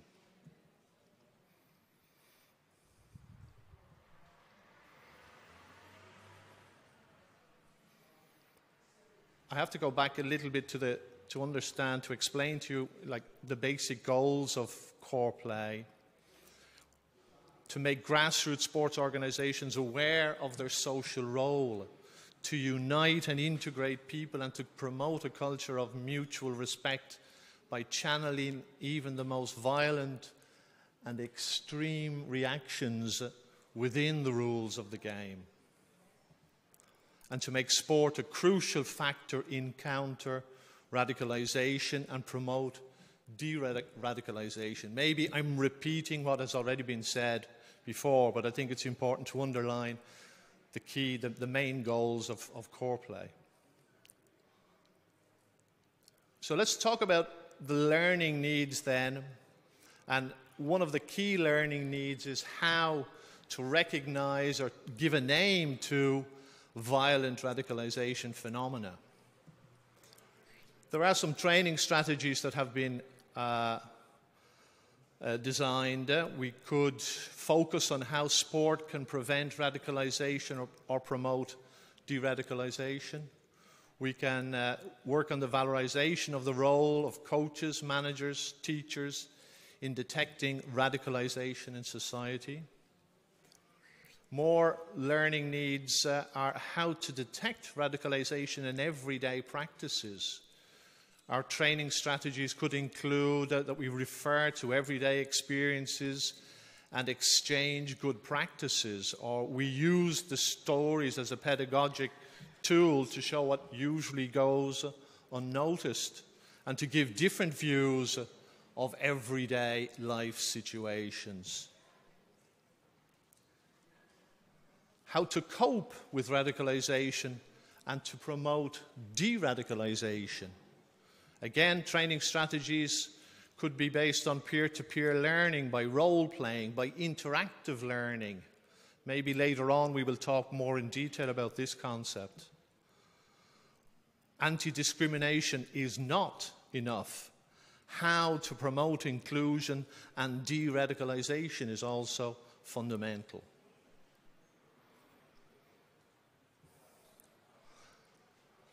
the use of pra practical pedagogic tools for group management, thus promoting inclusion, cohesion, and anti discrimination. Okay, I haven't told you any stories, but I'd like to, to tell you this little story um, from a, written by a, a, father of one of our athletes. Uh, I'm a, a member of the USMA Multi Sports Club. We're not as old as the club I am standing in today. And one of our children, um, okay, I'll, I'll, I'll, just explain it here that the, what you saw beforehand was a letter written by one of the fathers of these children and this letter was inspired by a racist incident that happened three weeks ago at the uh, football stadium in Verona. Uh, I think you all know Mario Balotelli, okay? Um, and this racist incident, incident uh, inspired this father to write a letter. I'll try to summarize the letter. Twelve years ago, Giuseppe and Susanna decided to adopt a baby, an African baby. This is Giuseppe's letter to his son, not Stefano, Giuseppe's letter to his son. We were so happy when you arrived, but even then you were compared to a little chocolate. As if white babies uh, could be called uh, yogurt. Not Greek yogurt, yogurt in general. There was this latent racism in the air. Some people said, You moved really well. All Africans move really well. You'll become a dancer or a marathon runner. Africans are great runners. You'll learn to play the bongos, maybe. Today, you can't dance. You, you aren't interested in running. You aren't able to play a musical instrument. Instead, you play football. And like all your friends, you want to be the next Ronaldo. You argue with me, you argue with your mother, you fight about homework, using your mobile phone, you want the latest trainers, etc., etc., etc., just like all teenagers. But now, at the beginning of your teenage years, you have to face the real world. So, I have some advice for you. The father speaking to his son. When you get on the bus, make sure you have your bus ticket ready. Wear nice clothes. Make sure they're not too fashionable. Otherwise, people will think you have stolen them. Make sure you speak Italian. And maybe use some typical expressions from your local town. Everybody will be happy. What about your studies? Will you go to university? Of course you will. Of course you will. Your mother insists. And the world of work? We have always told you, his father continues, uh, that we wanted a child, and when you and then you arrived. And every day you confirm the dream we had. Day by day, you are more complex, you are more a teenager, and overall, more you. It's important to see beyond that first reaction, that first look. You will discover how many will see the person you are. And uh, Giuseppe finished the letter saying, uh, By the way, I keep on supporting Mario Baroltelli. Me too. Okay, thank you. I would like to thank um, Paolo Gusmeroli and Luco Trapulin. Uh, the slides were based on most of the work that they carried out. Again, thank you very much.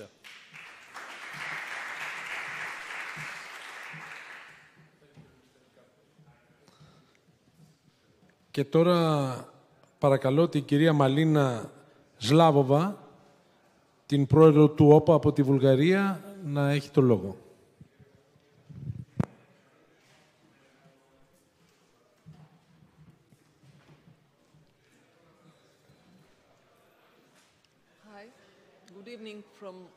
Oh, here.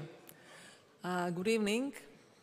Uh, as you can notice, each of us, each of project partner, presents some work that it has done during the project, uh, presents some stage of the project that is a logically continuation of the stage done before by the other partner.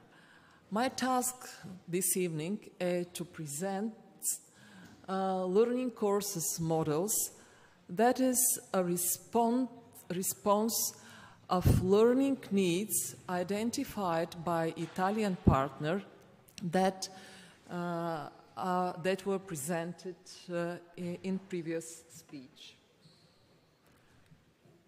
Okay, first step we have done is to define eight subjects.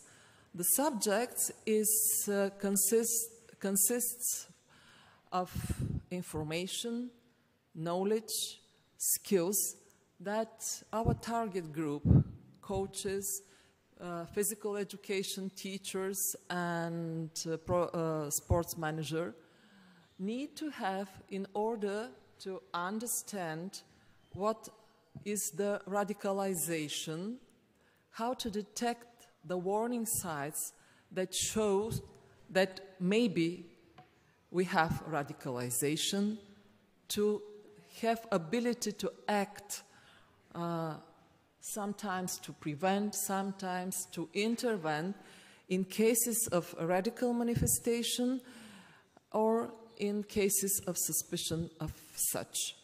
And at least to develop policy, programs, measures, and other activities to tackle with the problem. To respond the needs that are already identified, we develop, we define eight subjects. You can see uh, they, they are uh, types and definition and types of radicalization, identification of radicalization in everyday practice, uh, radicalization in sport, risk on web channels, prevention tools, monitoring tools, uh, intervention tools, and at least sport uh, club policies. The steps afterward was to develop the learning models. What is a learning model? The learning model is the way to the way of studying uh, different subjects. Uh, in school, for example, we have different school subjects, let's say geography, for example. Uh, we have a different way to learn this subject.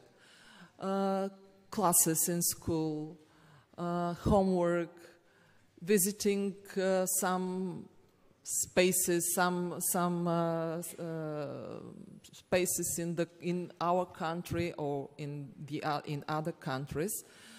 That is the way of learning geography. Our ways of learning uh, these subjects that are defined before is these learning models. Uh, we developed or designed 11 learning models. These learning models uh, are directed to a different target groups, uh, coaches, physical education teachers, sport managers, or mixed group of them. Uh, we use different learning methodol methodology to develop these learning models, such as formal education, non-formal education, or e-learning. Also, we use uh, different learning methods, like uh, presentation, trainings, discussions, uh, uh other uh, public events.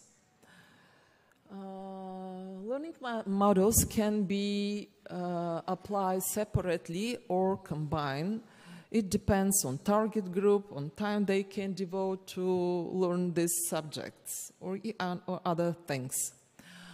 I want to present one example of learning model that we developed.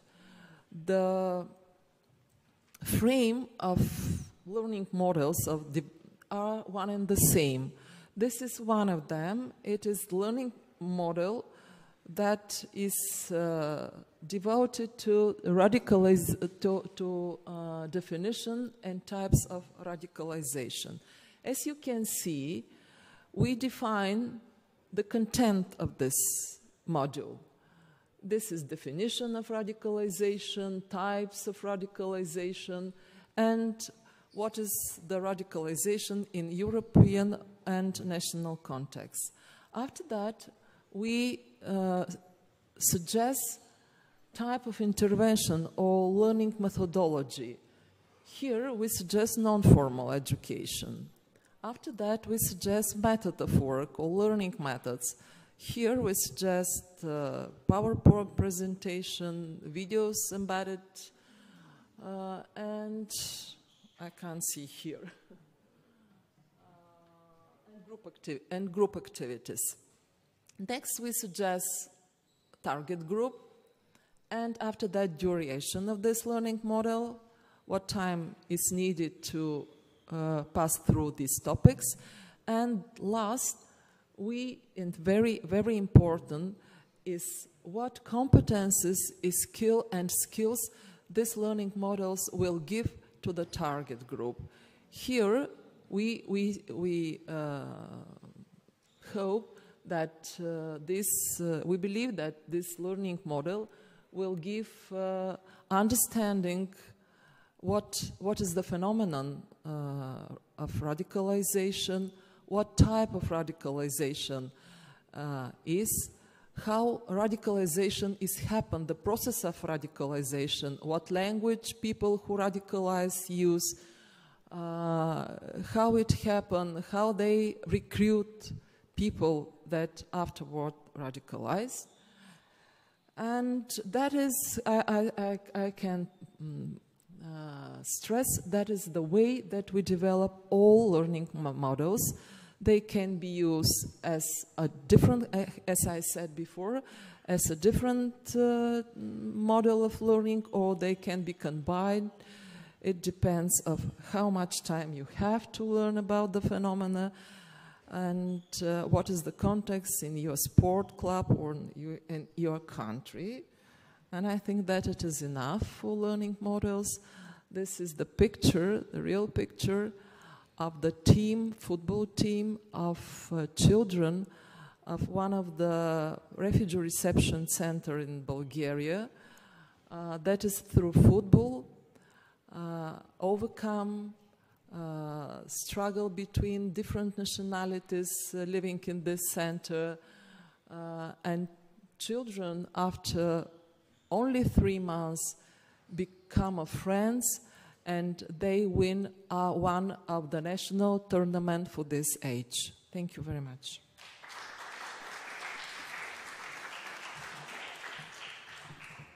Ευχαριστούμε πάρα πολύ κυρία Σλάβοβα.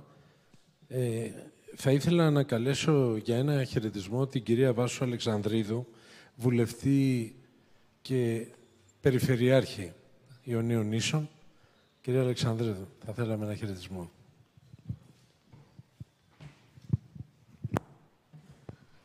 Καλησπέρα και από μένα, κύριε Πρόεδρε, κύριε Δήμαρχε, κυρίες και κύριοι.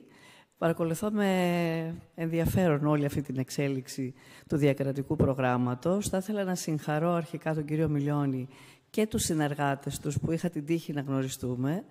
Η παρουσίαση αυτού του διακρατικού προγράμματος δείχνει ότι η Ελλάδα πραγματικά μπορεί να συνεργαστεί και πραγματικά μπορεί τα ευρωπαϊκά προγράμματα να τα επενδύσει στην Ελλάδα γιατί είναι απαραίτητα. Είναι σημαντικό ότι η νεολαία μας αυτή τη στιγμή χρειάζεται διεξόδους. Και νομίζω ότι ο αθλητισμός από τα αρχαία μας χρόνια μέχρι και σήμερα, μέχρι και αύριο, είναι απαραίτητος για τους νέους, γιατί όπως ανέφερε ο κύριος Οικονόμου πριν, ειδικά η εφηβεία είναι μια δύσκολη εποχή για να διανύσουν αυτά τα παιδιά και νομίζω ότι διέξοδος με τον αθλητισμό σημαίνει υγεία. Δεν θα ήθελα να πω πολλά, θα ήθελα πάλι να σας συγχαρώ και να πω ότι πραγματικά τα ευρωπαϊκά προγράμματα που και μάλιστα τα διακρατικά συμβάλλουν πάρα πολύ στη χώρα μας και στην Ευρωπαϊκή μας Ένωση να φύγει ο ρατσισμός και να αποδεχτούμε όλοι μας την κουλτούρα της κάθε χώρας με σεβασμό προς εμάς και προς όλους τους άλλους. Σας ευχαριστώ πάρα πολύ. Συγχαρητήρια και καλή συνέχεια σε όλα σας. Ευχαριστούμε κύριε Αλεξανδρίδου. Θα ήθελα να, ακούσω, να ακούσουμε την κυρία Κατερίνα Ψύχα από το ΟΚΕΑΝ για την σπουδαία εργασία της.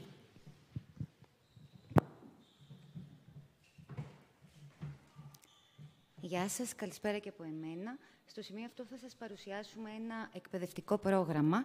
Είναι ένα workshop το οποίο έχουμε σχεδιάσει. Εντάσσεται στο πλαίσιο μιας σειράς εκπαιδευτικών δράσεων, οι οποίες υλοποιούνται στο πλαίσιο του προγράμματος Core Play. Ο τίτλος και η φιλοσοφία του προγράμματος είναι The Thinking Partner. Εμείς το μεταφράζουμε ως σκεπτόμενος συνεργάτης και είναι ακριβώς αυτό που θέλουμε, αυτό το ρόλο θέλουμε να έχουν και οι προπονητές. Το συγκεκριμένο workshop απευθύνεται σε προπονητές, απευθύνεται σε παράγοντες αθλητισμού, θα μπορούσε να απευθύνεται ακόμα και σε γονείς νεαρών αθλητών, εφόσον το επιθυμούν, ε, και αφορά τη συμμετοχή τους σε όλη τη διαδικασία επικοινωνίας και επαφής με τους νέους προπονούμενους αθλητές. Πριν ε, ξεκινήσουμε με το σεμινάριο, κάποιες μέρες πριν, σε ευδιάκριτους χώρους στα αθλητικά κέντρα, θα ανατηθούν ε, αφήσεις οι οποίες θα λειτουργούν ως teaser. Δηλαδή, θα εξάπτουν την περιέργεια αφενός αυτών που πρόκειται να συμμετάσχουν στο σεμινάριο, αλλά και όλων των άλλων οι οποίοι επισκέπτονται αυτούς τους αθλητικούς χώρους. Ε, what's bugging you, δηλαδή τι σε ενοχλεί, τι σε, τι σε ζουζουνίζει, τι είναι αυτό που σε απασχολεί; Ξεκινώντας και μπαίνοντας στο κυρίως σώμα του εκπαιδευτικού σεμιναρίου. Αυτό ξεκινά με μία γνωριμία ανάμεσα στους συμμετέχοντες. Θα πει ο καθένας δύο-τρία λόγια για το ποιος είναι ο ίδιος και θα περιγράψει πολύ συνοπτικά τη δράση του στο κομμάτι της επαφής του με τους νέους προπονούμενους αθλητές. Είναι απαραίτητο να υπάρξει ένα θεωρητικό κομμάτι Καμιά φορά οι συμμετέχοντες βαριούν τη θεωρία και είναι λογικό, όμως επειδή το συγκεκριμένο θέμα, η ριζοσπαστικοποίηση, δεν είναι πολύ γνωστή στη χώρα μας, στο κομμάτι του αθλητισμού, και ευτυχώς, επιτρέψτε μου να πω, οφείλουμε να τους δώσουμε ένα βασικό ορισμό για το τι είναι η ριζοσπαστικοποίηση. Στην πραγματικότητα, αν θέλουμε να το πούμε με απλά λόγια, μιλάμε για άτομα τα οποία θέλγονται και μπορεί και τελικά να εντάσσονται σε ομάδες οι οποίες πρεσβεύουν ή και υπηρετούν ακραίες απόψεις και θεωρίες, κυρίως στον χώρο της πολιτικής και της, ε, και της ε, θρησκευτικής ιδεολογίας τους. Θα τους μιλήσουμε για παράγοντες ε, push and pull factors, δηλαδή πίεσης αλλά και έλξης. Και όταν μιλάμε για πίεση, τι εννοούμε; Υπάρχουν άτομα τα οποία είναι περιθωριοποιημένα, είναι κοινωνικά αποκλεισμένα. Αυτοί είναι κάποιοι παράγοντες ε, ε, οι οποίοι τους δημιουργούν πίεση. Οι pull factors είναι οι παράγοντες έλξης, όπως τους μεταφράζουμε στα ελληνικά. Είναι λιγάκι και σημάδι της εποχής της οποίας βιώνουμε. Ε, τα social media, η ανάγκη του ανήκειν. Τα social media αυτό το παρουσιάζουν και είναι μια πολύ καλή αναφορά. Άνθρωποι θέλουν να εντάσσονται σε ομάδες που να αισθάνονται καλά μέσα σε αυτές. Δυστυχώς, κάποιες από αυτές μπορεί να είναι και ακραίες. Στο τέλος θα τους δώσουμε κάποια παραδείγματα, πιθανά παραδείγματα ρίζοσπαστικοποίησης, κάποιες συμπεριφορές νέων ανθρώπων, οι οποίες μπορούν να συνιστούν αυτό ακριβώς για το οποίο μιλάμε. Αυτό θα μπορούσε να είναι μια αλλαγή στη συμπεριφορά των νέων ανθρώπων. Ξεκινά ακόμα και από το ενδυματολογικό κάποιες φορές. Παρατηρούμε ότι οι σχέσεις τους χαλούν με ανθρώπους, φίλους πολλών ετών. Εκφράζουν ρητορική μίσου στα social media. Ε, εκφράζουν ξαφνικά ρατσιστικές απόψεις και θεωρίες για διαφορετικές εθνικότητες, διαφορετικές θρησκείες. Αυτά είναι σημάδια που πρέπει κάποιος να τα έχει υπόψη του.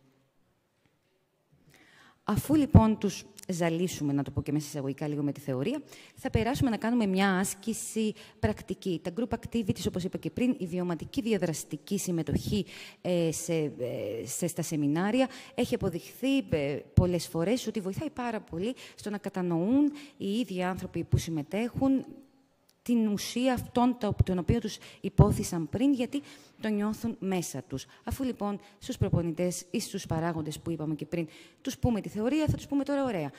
Κατέγραψε εσύ με αυτά που άκουσες. Ποιος είναι ο δικός σου ρόλος, τι νομίζει ότι θα έπρεπε να κάνεις. Αυτό το κρατάμε και το κρατάμε για αργότερα, γιατί αυτό θα μας χρησιμεύσει στην πορεία του σεμιναρίου.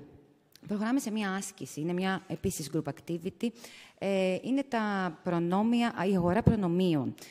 Είναι, μοιάζει λίγο με μονόπολη αυτή η άσκηση. Χωρίζουμε τους συμμετέχοντες σε γκρουπ, ε, τους αφαιρούμε, μέσα εισαγωγικά τους αφαιρούμε όποια προνόμια μπορούν να έχουν αυτούν στην κοινωνική τους τη ζωή και τους δίνουμε μια λίστα από την οποία μπορούν να επιλέξουν και να αγοράσουν προνόμια. Η διαφοροποίηση είναι ότι σε αυτούς τους ανθρώπους δίνουμε διαφορετικά χρήματα. Δηλαδή, κάποιοι θα έχουν κάποια μέχρι 500 ευρώ μονόπολης, κάποιοι μέχρι 1000, κάποια ε, μέχρι 1500. Άρα αυτοί ουσιαστικά μπορούν να αγοράσουν και διαφορετικά, κάποιοι όμως λιγότερα από κάποιους άλλους. Ποιος είναι ο στόχος αυτής της άσκησης, Είναι πολλαπλός. Έχει πολλούς στόχους. Αφενός, θέλουμε οι συμμετέχοντες να αντιληφθούν πώς κάποια πράγματα που θεωρούν δεδομένα στην καθημερινότητά τους, ότι τους ανήκουν και με τα οποία μπορούν να κινούνται, ότι πια σταματούν να είναι δεδομένα. Επίσης, θέλουμε να εστιάσουν και να δουν τη διαφορετικότητα και τι, πόσο κάτι που για μένα είναι πολύ σημαντικό, για κάποιον άλλον μπορεί να μην είναι. Είναι διαφορετικές αξίες, διαφορετικές αρχές, διαφορετικές προτεραιότητες. Στο τέλος, αυτό που θέλουμε να επιτύχουμε από αυτή την άσκηση είναι να τους αυξήσουμε, να τους δημιουργήσουμε και να τους αυξήσουμε την ευαισθητοποίηση στο πώς είναι πάρα πολύ πιθανόν να έρθουν σε επαφή με ανθρώπους, με αθλητές που προπονούν, που είναι εντελώς διαφορετικοί από αυτούς. Έχουν άλλες συνήθειες, άλλες προσλαμβάνουσες και πρέπει να είναι ευαίσθητοι απέναντι σε αυτό, γιατί με αυτούς θα πρέπει να χειριστούν και να τους λύσουν τα πιθανά ζητήματα και προβλήματα. Ερχόμαστε στον πυρήνα του σεμιναρίου, στον thinking partner, στον ε, σκεπτόμενο συνεργάτη. Ε, το σκεφτήκαμε πάρα πολύ για να καταλήξουμε σε αυτή τη φιλοσοφία. Θέλαμε ο προπονητής, ο άνθρωπος ο οποίος έχει σε επαφή με νέους ανθρώπους, με ε, προπονούμενους, είναι ένα μελίσιο ολόκληρο, ξέρετε, αυτά τα νέα παιδιά, να μπορεί να λειτουργήσει για αυτούς, όχι ως ο δάσκαλος που κουνάει το χέρι, που τους λέει ότι ξέρεις, αυτό είναι γιατί, γιατί έτσι το λέω. Θέλαμε να του δώσουμε ένα άλλο ρόλο. Θέλαμε να τον κάνουμε, να τον φέρουμε κοντά στα παιδιά και να αισθανθούν οι νέοι άνθρωποι ότι αυτόν τον άνθρωπο μπορούν να τον εμπιστευθούν, να μπορέσουν να του ανοιχθούν, να μιλήσουν για τα θέματά τους και να τους βοηθήσει, τους βοηθήσει να λύσουν τα προβλήματά τους. Αυτός ακριβώς είναι ο thinking partner. Είναι ο άνθρωπος ο οποίος έχει πολύ καλή ακοή, έχει μάθει να ακούει, είναι καλός ακροατής. Είναι επίσης και αυτός που ξέρει να λέει τα σωστά πράγματα με τον σωστό τρόπο. Και ποιος είναι αυτός; Μέσω ερωτήσεων. Θα μπορούσαμε να πούμε ότι υπάρχουν τέσσερα διαφορετικά βήματα. Είναι μια σκαλίτσα που σας δείχνω τώρα εδώ πέρα, με τέσσερα διαφορετικά στάδια για το πώς, ε, ε, ποια είναι τα βήματα που πρέπει ένας thinking partner να ακολουθήσει. Το πρώτο είναι ότι πρέπει να αποδεχθεί να υποδεχθεί ή να επιδιώξει το διάλογο με έναν ε, από αυτούς που προπονεί. Να υποδεχθεί γιατί μπορεί πραγματικά κάποιο παιδί να έρθει και να του πει κάποιο πρόβλημα, κάποιο θέμα που αντιμετωπίζει. Να επιδιώξει γιατί μπορεί να μην έρθει το παιδί το ίδιο, αλλά αυτός να δει ότι υπάρχει κάποιο θέμα και να το πλησιάσει ο ίδιος, ρωτώντας το ποιο είναι το πρόβλημά σου, τι είναι αυτό που σε απασχολεί. Οι ερωτήσεις, είπαμε, είναι πάρα πολύ μεγάλο κομμάτι στη δουλειά του thinking partner. Προχωράει περαιτέρω, το δεύτερο βήμα είναι να μάθει περισσότερα για την περίπτωση να μάθει λεπτομέρειες. Ωραία, εντάξει, μου πει γενικώ ότι έχεις ένα θέμα, έλα τώρα να το αναλύσουμε. Και τι είναι αυτό που σε πειράζει και τι είναι αυτό που σε έχει κάνει να αισθάνεσαι άσχημα. Το τρίτο κομμάτι είναι να συζητήσει μαζί του τις δυνατότητες. Δεν θα του δώσει απαντήσεις. Δεν είναι η δουλειά του thinking partner να δίνει απαντήσεις. Η δουλειά του είναι να βοηθάει τον νέο άνθρωπο μέσα από σωστές ερωτήσεις, σωστές παρατηρήσεις, σωστές υποδείξεις ενδεχομένως να βρει μόνος του τη λύση. Και το τελευταίο και το πιο σημαντικό στάδιο τελικά είναι να τον βοηθήσει να εστιάσει στη δράση που πρέπει να πάρει τη θεωρία που του έχουμε πει, ό,τι αφορά το Thinking Partner, τώρα ερχόμαστε να την κάνουμε πράξη. Μπαίνουμε σε ένα παιχνίδι ρόλων. Ε, ε κάποιοι από τους συμμετέχοντες τους δίνεται ένα σενάριο, μια πιθανή ε, περίπτωση ριζοσπαστικοποίησης, σαν και αυτά που σας ανέφερα πριν. Κάποιος αλλάζει συμπεριφορά του, χαλανεί οι σχέσεις του με τους φίλους του, αλλάζει το ενδυματολογικό του, ε, ε, ξεκινά ρητορική μίσου στα social media, ξεκινά να κάνει ρατσιστικά σχόλια προς άλλες εθνικότητες. Ο ένας λοιπόν κάνει αυτό το ρόλο και έρχεται ο άλλος από, από τους ε, συμμετέχοντες για να κάνει αυτή την ρητορική thinking partner και να τον βοηθήσει με βάση τα βήματα τα οποία έχουμε πει πριν και τη βοήθεια φυσικά του εκπαιδευτή να αντιμετωπίσει και να βοηθήσει τον νέο άνθρωπο να ξεπεράσει το πρόβλημα. Τελειώνουμε το σεμινάριο. Είπαμε είναι σεμινάριο διάρκειας 4 ωρών, γιατί ξέρουμε ότι αυτοί οι άνθρωποι δεν έχουν πάρα πολύ χρόνο στη διάθεσή τους και δεν θέλουμε και εμείς να τους κουράσουμε. Με ένα πολύ έτσι όμορφο τρόπο υπάρχει ένα mobile application, το οποίο το χρησιμοποιούμε για να κάνουμε summarize αυτόν που είπαμε και διασκεδάζοντας θα ε, μας συνοψίσουμε τι είναι αυτό που έχουν μάθει. Και εδώ τελειώνει το σεμινάριο των 4 ωρών. Σας ευχαριστώ πάρα πολύ.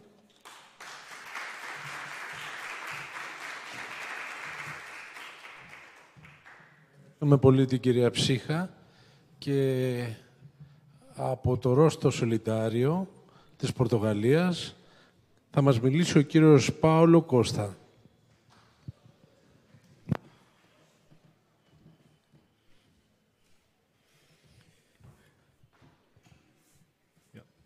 Uh, thank you. First of all, thank you for your hosting. It's a pleasure to be here uh, as a partner of uh, the Greek coordinator. Thank you. Uh, and uh, just sharing with you a paradoxal um, uh, question these days. We come from a, a, city near Porto, which is the, the birth town and the, the, the, living town of the Olympiacos coach Pedro Martins. Uh, my colleague Maria uh, know him, but um, unfortunately he is playing in, in, today uh, in, in London a Champions League match against Tottenham with another Portuguese coach. So uh, globalization, and uh, it's not uh, possible to meet him maybe next time in in our in our town. So. Um, we, our, one of the main proposals in, uh, of uh, uh, our organization, Roche Solidario, in this project was to create a proposal to, for a counter-narrative uh, guidelines.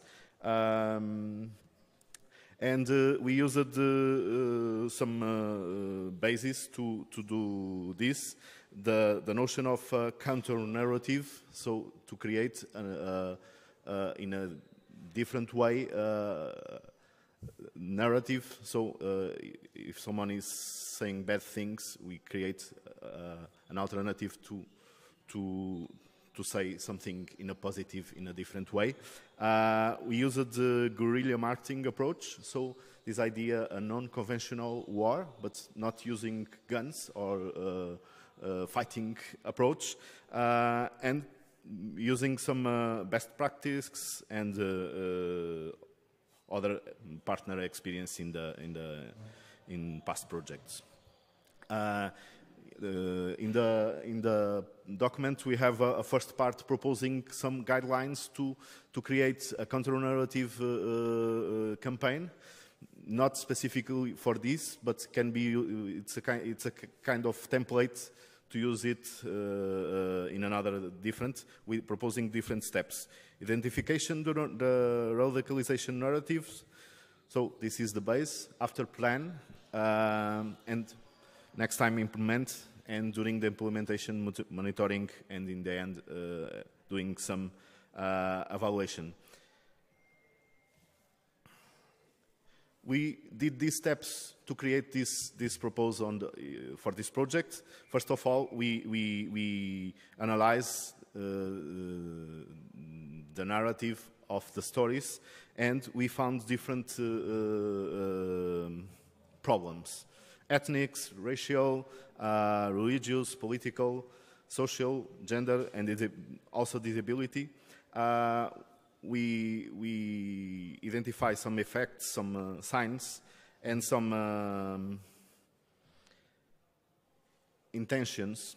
Uh, and sometimes it's concrete, we can see, and sometimes we, we just see some signs, and sometimes we don't know if there is a problem or not. And we realize maybe this is a pandemic with, with, with different uh, uh uh, virus or bugs, uh, and uh, we have different inputs, and the idea is small things of small violence dimensions create a, a snowball violence process. The second part was to, to create an uh, uh, overall view of this uh, problem there is an, an emerging pandemic with diverse bacterial variants and different manifestations whose con consequences are increasing. So this is a process and sometimes we can see that just some signs, but it can be a big problem uh, in few days, in a few weeks, in few months. The bacterium is transmitted from person to person uh, and easily transmit, transmitted in groups and communities. So if I'm in a team, in a club, it's easy to be infected. So the question relevant is, if is ask you, are you infected? Are you infected? Are you infected? Probably not, but I'm not sure. Uh, and the campaign uh, is a kind of question, always a question. Are you infected? Uh, and um, it, we use these bugs uh, as a metaphoric uh, uh, representation of this type of discrimination. Um, the idea is to use the question just to start thinking on the, the perceptions of the, the athletes, of the, the parents, of the, um, the coach, the leaders, and also for the attitudes and the, the, behavior, the behaviors. Um, so the idea is to do a self-analysis and also to support the others uh, trying to control controlling the, the, the pandemic. So the idea is the question, what's, what's bugging you? Um, and uh, using this process, asking the question, what's bugging you, doing a process like disinfecting sports. Uh, this idea, maybe when we have a pandemic, we need to wash the hands, just take more care on our our days, and uh, uh, in the end, we have a pandemic control. Uh, so we need an individual change, but also uh, uh, a collective uh, change. For this propose, we have some products. I'm going to share uh, briefly uh, some of the products. Some of them was in the table in the registration. Um, and one of them is this guerrilla marketing propose uh, with the question, are you infected? So we have seven bugs, uh, and we can put the bugs here, for example, in the roof, on the, on the, on the floor, on the, on the chairs, uh, where you, you, the supporters are uh, going to be seated during the, game the match, and you look at that, and probably you have some uh, emotional and visceral uh, reaction. Ah, Okay? And later you will ask in the second phase, are you infected? And the people start thinking, maybe this is related with me. I'm not sure. Uh, and the third phase, you use uh, activists or some uh, uh, leaders to ask to the, the people, do you know why we have these bugs here? Uh, and probably they will start knowing more about these kind of uh, problems to support that process, we have some other uh, material proposed, some low cost proposed. We can, we can use uh, uh, chiclets or gums uh, to just, if you are not sure if you are infected or not, maybe you have some pills to take. Uh, you don't need a, a, big diagnostic, but if you are not sure, take one. It's not a, a maybe, yes, we need it. So in, to, in a prevent way. Uh, the other uh, proposed it's a, a, a, soap, not a soup, uh, and the idea to disinfect uh, these materials. We can use the usual. We can buy it in the supermarkets. We put the label, and we have some uh, inf additional information to ask, to propose, and also using a QR code to to to, to do a link for more information in the website or something, something like that. Um, and just to, to finalize, we can use this kind red card, yellow card, and also add a green card uh, and do uh, some questions in, to the supporters do, before the match or in the end of the match, to the athletes, or in different contexts. And if the, the the answer is good, I give you a green card, or if it's not good, yellow or, or maybe red. Uh, and in special thinking for the supporters or the, the, the people who use have more responsibility or the parents or also the leaders uh, uh, uh a frame to take a picture with the title I'm a role model if I take a picture saying I'm a role model, if I post it on Facebook or other social media, maybe I will start thinking if, in fact, I'm a role model or not. So, uh, some pictures of our multiplier event, but in general, this is all. We have more proposals, but just to, to, to show you the, the most uh, visible products because we have here some of them. So thank you for all and uh, see you next time.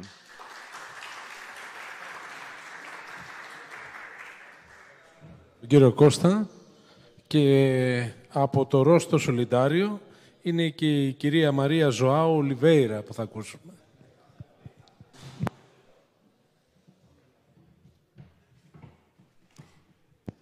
Good evening.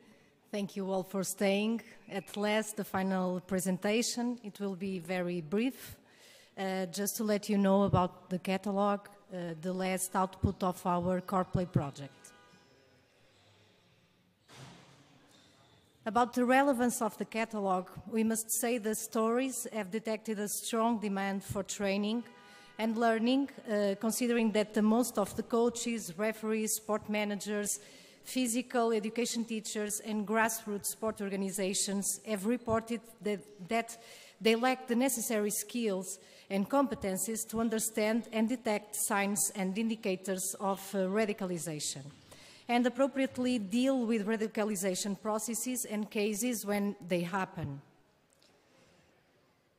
So, um, besides that, lack of specific training offers uh, to tackle radicalization and de-radicalization in sports, tailored specific, specifically for coaches, referees, sport managers, physical education teachers, and grassroots sport organizations is also not observed. So we, was, we were dealing with a lack of this kind of specific training to, the, to our target group. So, our catalog, CorPlay catalog proposal includes training courses and open educational resources for self-learning. Um, it combines non-formal training, e-learning, formal training, and awareness-raising events. To build this innovative instrument, partners worked for a better knowledge framework and for a learning methodology approach based on the need analysis of learning gaps and important skills to be developed. We've seen this uh, uh, before on the other presentations.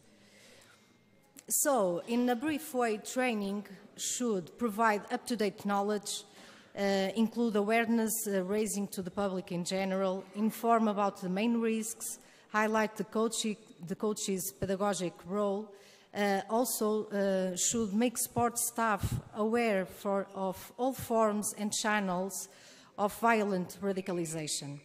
And at last, to promote an holistic uh, approach to integrate principles and values in sport organizations.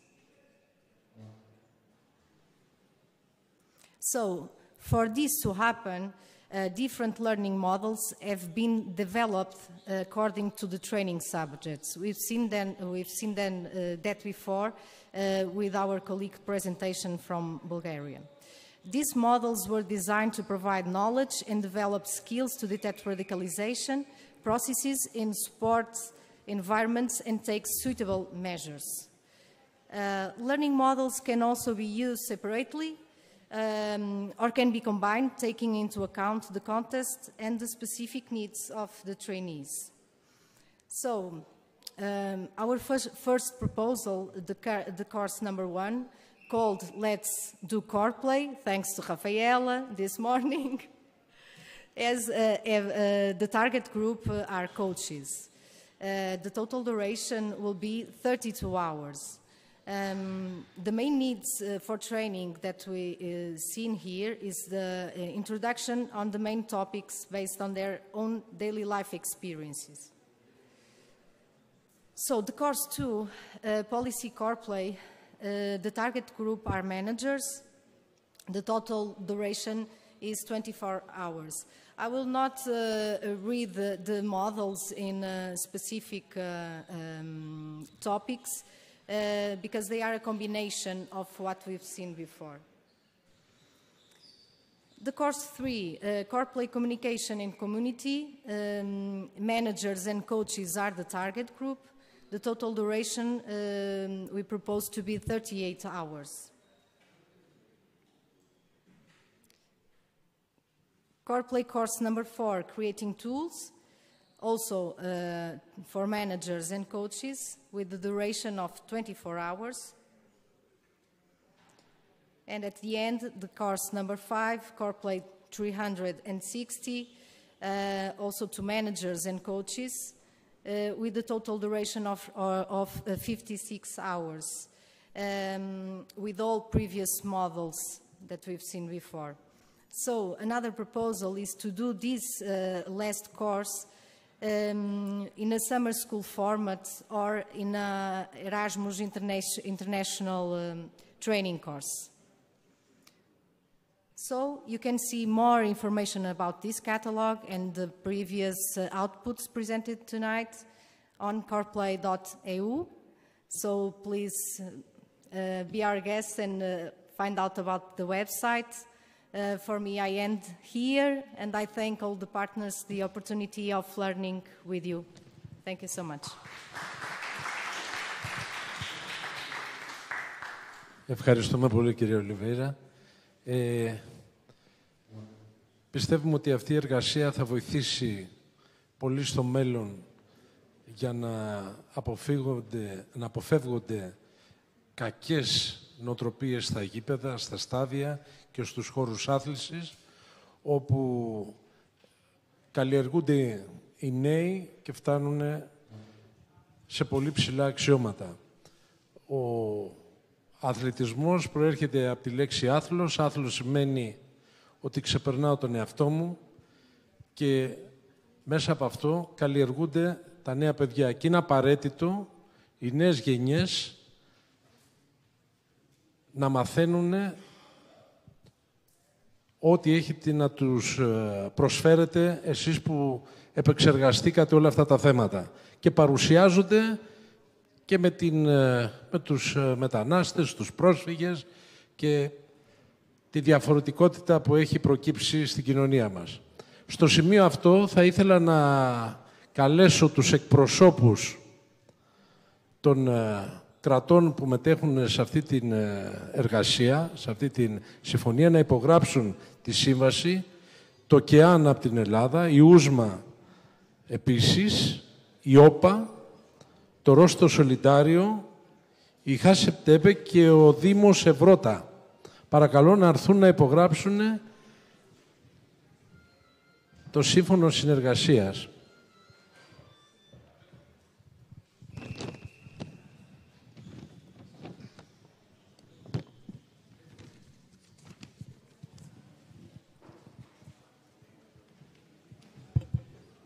Ε, σε αυτό το σημείο, λοιπόν, ξεκινάμε την, τη συνέχεια του project μας. Από εδώ και στο εξής.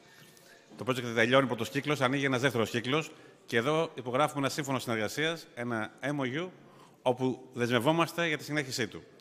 Πριν κλείσουμε, θέλω να ευχαριστήσω όλους τους partners που πραγματικά δουλέψαμε όλο αυτό το διάστημα μαζί.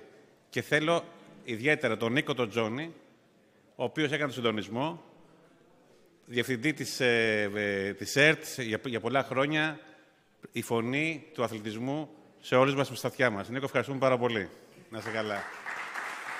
And now, and now please, our partners to come to sign the, the memorandum.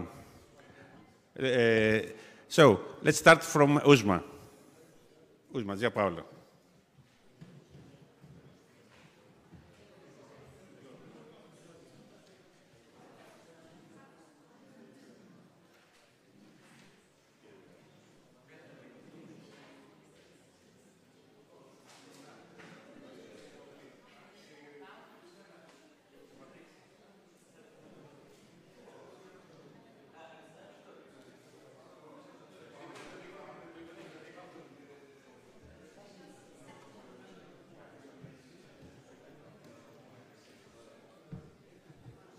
Now, ε, το Δήμο Ευρώτα και το Δήμο Βέρδο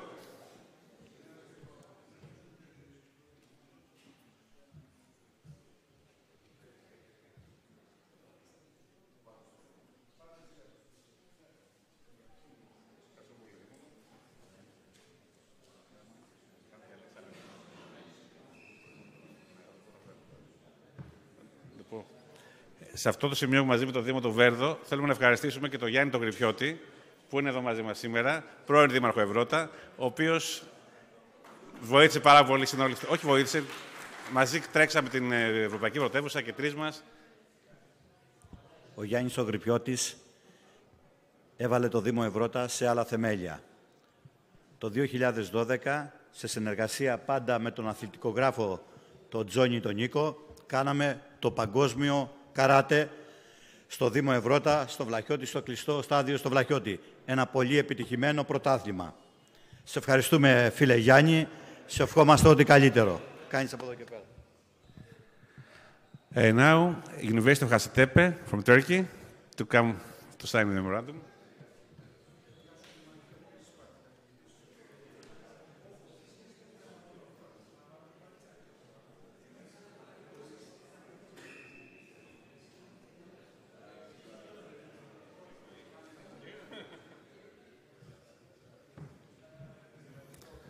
Now, Rosto Solidario from Portugal. Paulo.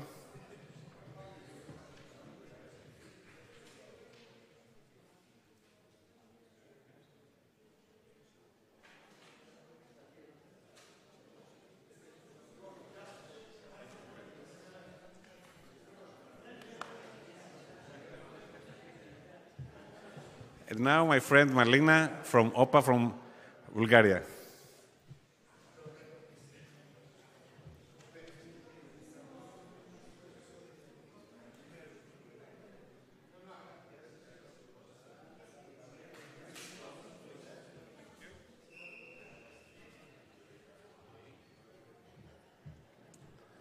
Σε αυτό το σημείο...